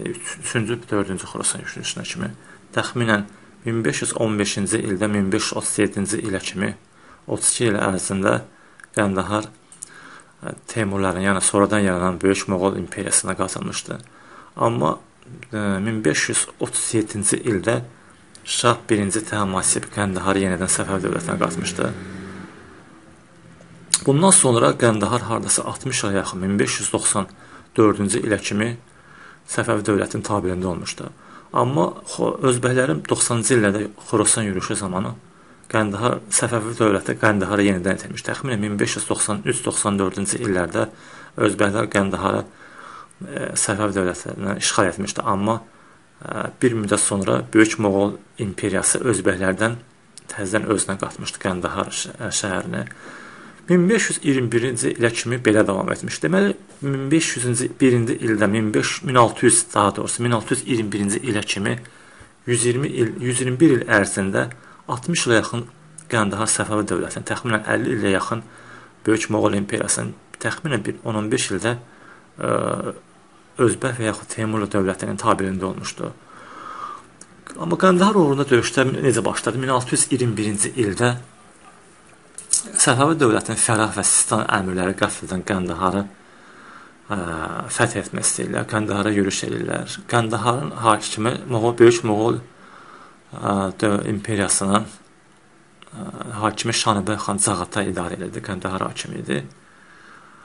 Amma Şah 1-ci Abbas böyük Moğol dövləti ilə sülh münasibətləri daim apardığına görə əmrlərə, Fərah və Sistan əmrlərinə geri çəkilməni əmr etmişdi. Amma qəfildən 1621-ci ildə böyük ordunun özü Qəndahara yürüş etdi. Çünki Qəndahar əvvəldən Səfəv dövlətinin ərazisində olub, ona görə Şah Abbas bütün itirilmiş əvvəlki şahların dövründə itirilmiş torpaqları geri qaytarmaq məq qarşısına məqsəd qoymuşdu. 1621-ci ildə Şah 1-ci Abbas Qəndahara böyük ordudan yürüş elədi. Qəndaharı o dövrdə Moğol hakimləri o Şahibay xan Cağatay Moğol hakimi idarə edir, amma bir çox e, əmirlər var idi. E, Qəndaharı müdafiə edirdi. Bunlar Əbdüləziz xan idi, Şəmşir xan, Əliqulu Dürmən, Mirzə Fazil, Xacə Aftab, Şah Məhəmməd İbn Şanibən xan və Tulə xan e, Qəndaharı qoruyurdu. Qəndaharda təxminən 4000 nəfər Moğol döyüşçü qarnizonu var idi. Şah Abbasın bu 19-cu yürüşü idi. Cəmi 17 günə amma Qəndahar təslim oldu. Qəndahar yenidən ə, Qəndahar yenidən böyük Sə Səfəv dövlətinə tabe edildi. Bundan sonra Qəndahar yaxınlığında olan 20 həmin ildə Zəmindavər qalası da 20 günə təslim edildi. Xosrov Sultan Zəmindavəri mühasirə almışdı. Zəmindavəri Şah Kəlan bir də Əbdüləz xan idarə edirdi. Həmin ildə də Hörmüzdən Portuqaliyanın ta tamamilə qovulması xəbəri, Hörmüzün fəth edilməsi xəbəri çatdı. Bir ildə iki böyük xəbər. Sonra həm Qəndahar yürüşündən qayıdan zamanı Əfqanistan dağlarında yaşayan Firuzçu, Firuzçu tayfası şah Qızılbaş ordusunun qarşısını kəsib onlara hücum elədi. Tərdi Məhəmmədin başçılığı, amma Səfəvi əmiri Xələf bəy süfrəsi başı Qurda Firuzçu Əfqanistanda firuzcuqları darmadağın elədi. Qəndahar yürüşü beləcə uğurla başa çatdı. Bir söz deyim ki, 1537-45-ci ildə Qəndahar uğrunda Səfəvlərlə Böyük Moğol dövləti arasında müharibə getsə də, o dövrdə Moğol dövləti təzə yaranmışdı, 15 il yaranmışdı. Ona görə Pişah 1-ci Təhməssibin üzərinə ə, ordu çıxartmağa cəsarət etmirdilər, çəkinirdilər. Bu dəfə də belə oldu. Böyük Moğol dövləti böyük müharibəyə girişmədi Səfəvinə. Çünki Şah 1-ci Abbasdan çəkinirdi. O dövrə kimi Şah 1-ci Abbas dünyanın ən böyük dövlətlərindən, ordularından olan Osmanlı ordusunu dəfələrlə darmadağın etmişdi. Şah 1-ci Abbasın hakimiyyəti dövründə Özbəklər Şeybanilər dövləti də böyük məğlubiyyətə uğradılmışdı. Ona görə ə, Moğol dövləti böyük orduya girişmədi Şah 1-ci Abbasdan. Beləliklə Şah 1-ci Abbasın Qəndahar yürüşü uğurla başa çatdı. Qəndahar dövləti, Qəndahar şəhəri yenidən Səfəv dövlətinə qatıldı.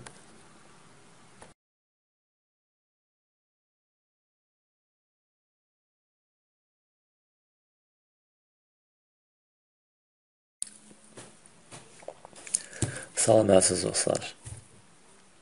Əziz tarix sevərlər. 1623-1639 Səfəvi Osmanlı müharibəsi belə başladı. Bu müharibə Səfəvilərlə Osmanlılar arasında 5-ci müharibə idi. Bağdadda Bəkir Subaşının başçılığı ilə ə, bəziləri qiyam edirlər. Bağdadda hakimiyyəti ələ alır Bəkir Subaşı. Amma ona qarşı Osman 30 minlik Osmanlı ordusu göndərilir. Döyüşdə Bəkir Subaşının 5 minlik qoşunu məğlub olur. 1500 döyüşçü itirir Bəkir Subaşı. Səfəvələri köməyə çağırır Bəkir Subaşı. Amma Osmanlı komandanlığı Bağdadı mühasirə almayıb geri çəkilir. Bəkir Subaşı deyirlər ki, Yəni səhv bizə qızılbaşları içəri buraxma. Yəni səni Bağdad hakimi kimi tanıyırıq. Ona qarşı da 7000 nəfərlik köməkçi e, qoşun göndərir Səfqulu xan Həmədan hakim başçılığı ilə. Amma ə, e, Bağdad hakimi Səfəvələrə tabe olmaqdan imtina eləyir. Amma Səfəvə qoşunu da 7000 Səfəvə ordusu artıq Bağdada yaxınlaşır.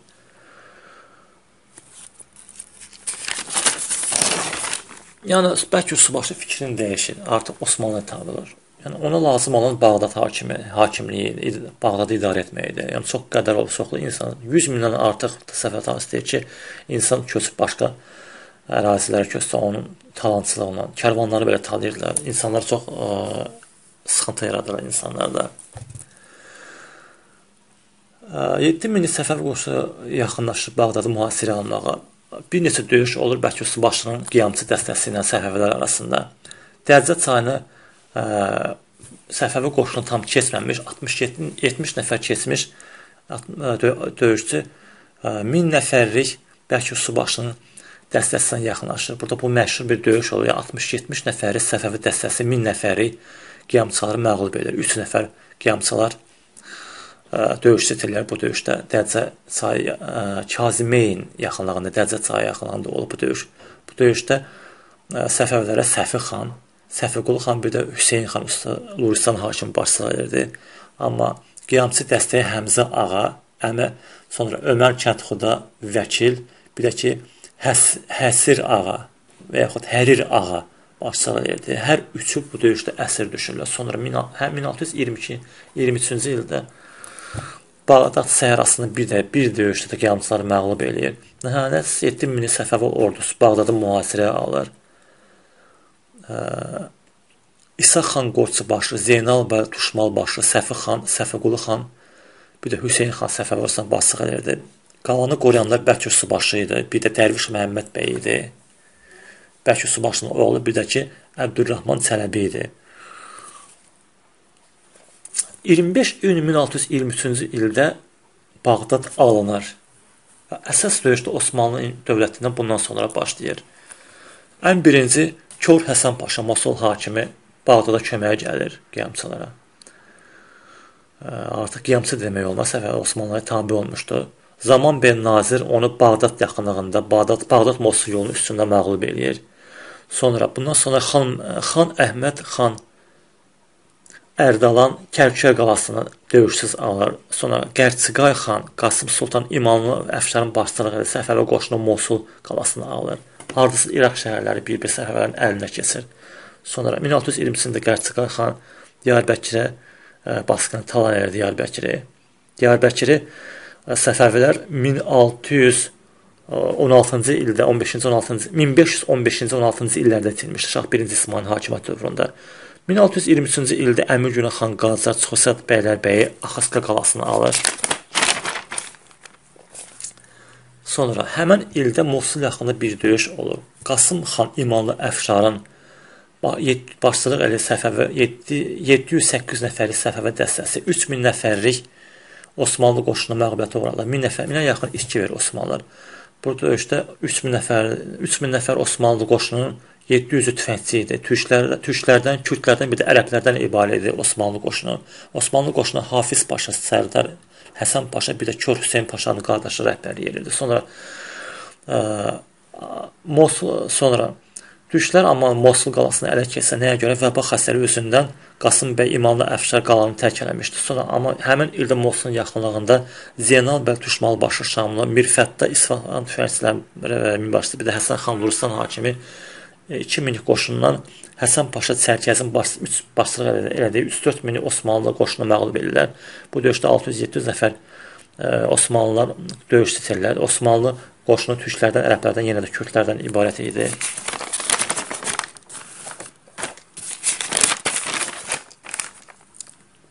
1625-ci ildə Mürtəza Paşa Osmanlı əmiri ə, Səlim xan Şəmsəddinin komandanlıq etdi, hakimlik etdi Axsı qalasını döyüşsüz aldı. Səlim xan Şəmsəddinli ə, tərk edir qalanı. Sonra 1625-ci ildə həmin ildə daha iki qələbəsi var Səfəvilərin Osmanlılar üzərində. Şərurda Əmigünə xan Qacanın övladları türkləri kürdləri məğlub edirlər Şərurda. Sonra həmin ildə Səlmas yaxınlığında Qasım bəy ə, Seyran və ya Beradus kürdü idi. Sal Salman xan Subaşı ə, sonra Səlmas hakimi, Ağa Sultan Mir Müqəddəm Arağı hakimi başçılığı Səfəvi qoşunu Seyran və Beradus kürdlərini məğlub edirlər. Səlmasda olub bu döyüş. Nəhayət Osmanlılar böyük e, yürüşə çıxırlar. Əks hücuma keçirirlər 1624-cü ildə. Murad bir-bir İraqdakı səfərlərin fəth elədiyi qalaları geri alırlar. Murad başı Diyarbəkir bəylər bəy Kərbəla qalasını alır. Sonra Murad bəy yenə o Hillə qalasını alır. Hacı bəy Osmanlı ə, əmiri Ləkzəhab qalasını alır. Bir də Mustafa başı Cəstani Məndəl qalasını alır. Bağdad yaxınlığında ə, ə, Hafiz əsas hücum Bağdada olur. Hafiz Əhməd Paşa başçılıq elədiyi Səfəvi vəzir və sərdar 100 mini Osmanlı ordusu Bağdadı mühasirə alır. Bağdadda 8 mini Səfəvi qarnizonu var idi. Bu qarnizonda Səfiqulu xan və Mirfətdə minbaşı başçılıq edirdi.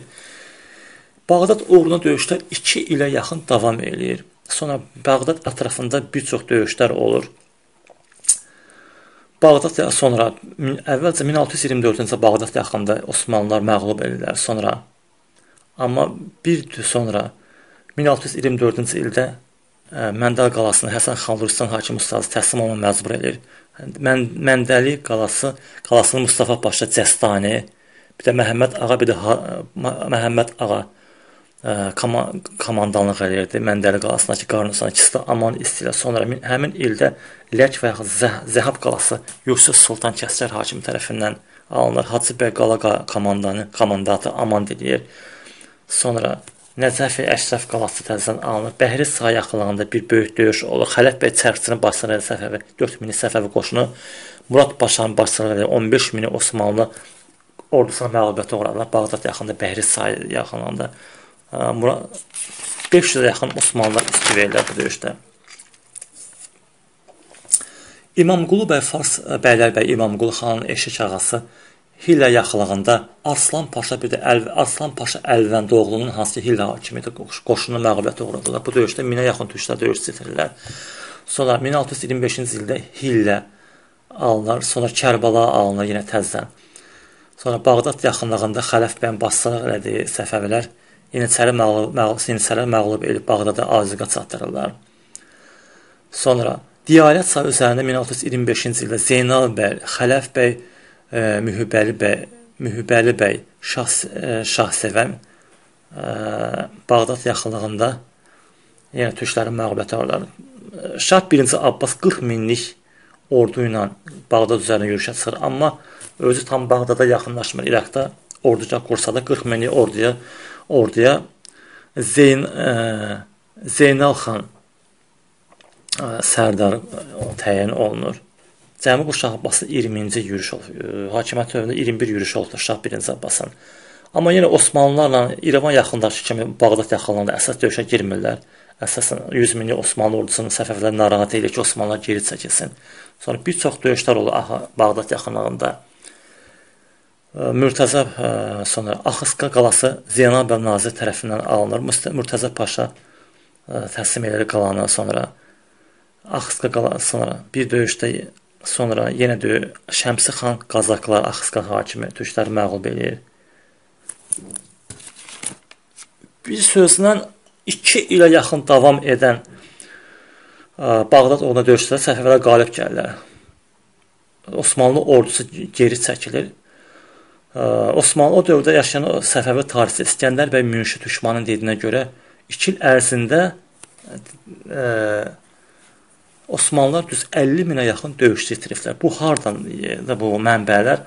Deməli həmin dövrdə Osmanlı Osman Osmanlılar tərəfindən göndərilən məktub ələ keçirilib. Bu məktub türk dilində İskəndər bəy Münşi Türkmanın dünyanı, dünyanı bəzəyən Şah Abbasın tarixi kitabında türk dilində olduğu kimi yazılır. Orada türk e, bir bəyi və yaxud əmiri öz dostuna göndərdiyi məktubda deyir ki, 2 il ərzində biz 50 dəfə qalaya hücum elədik Bağdada.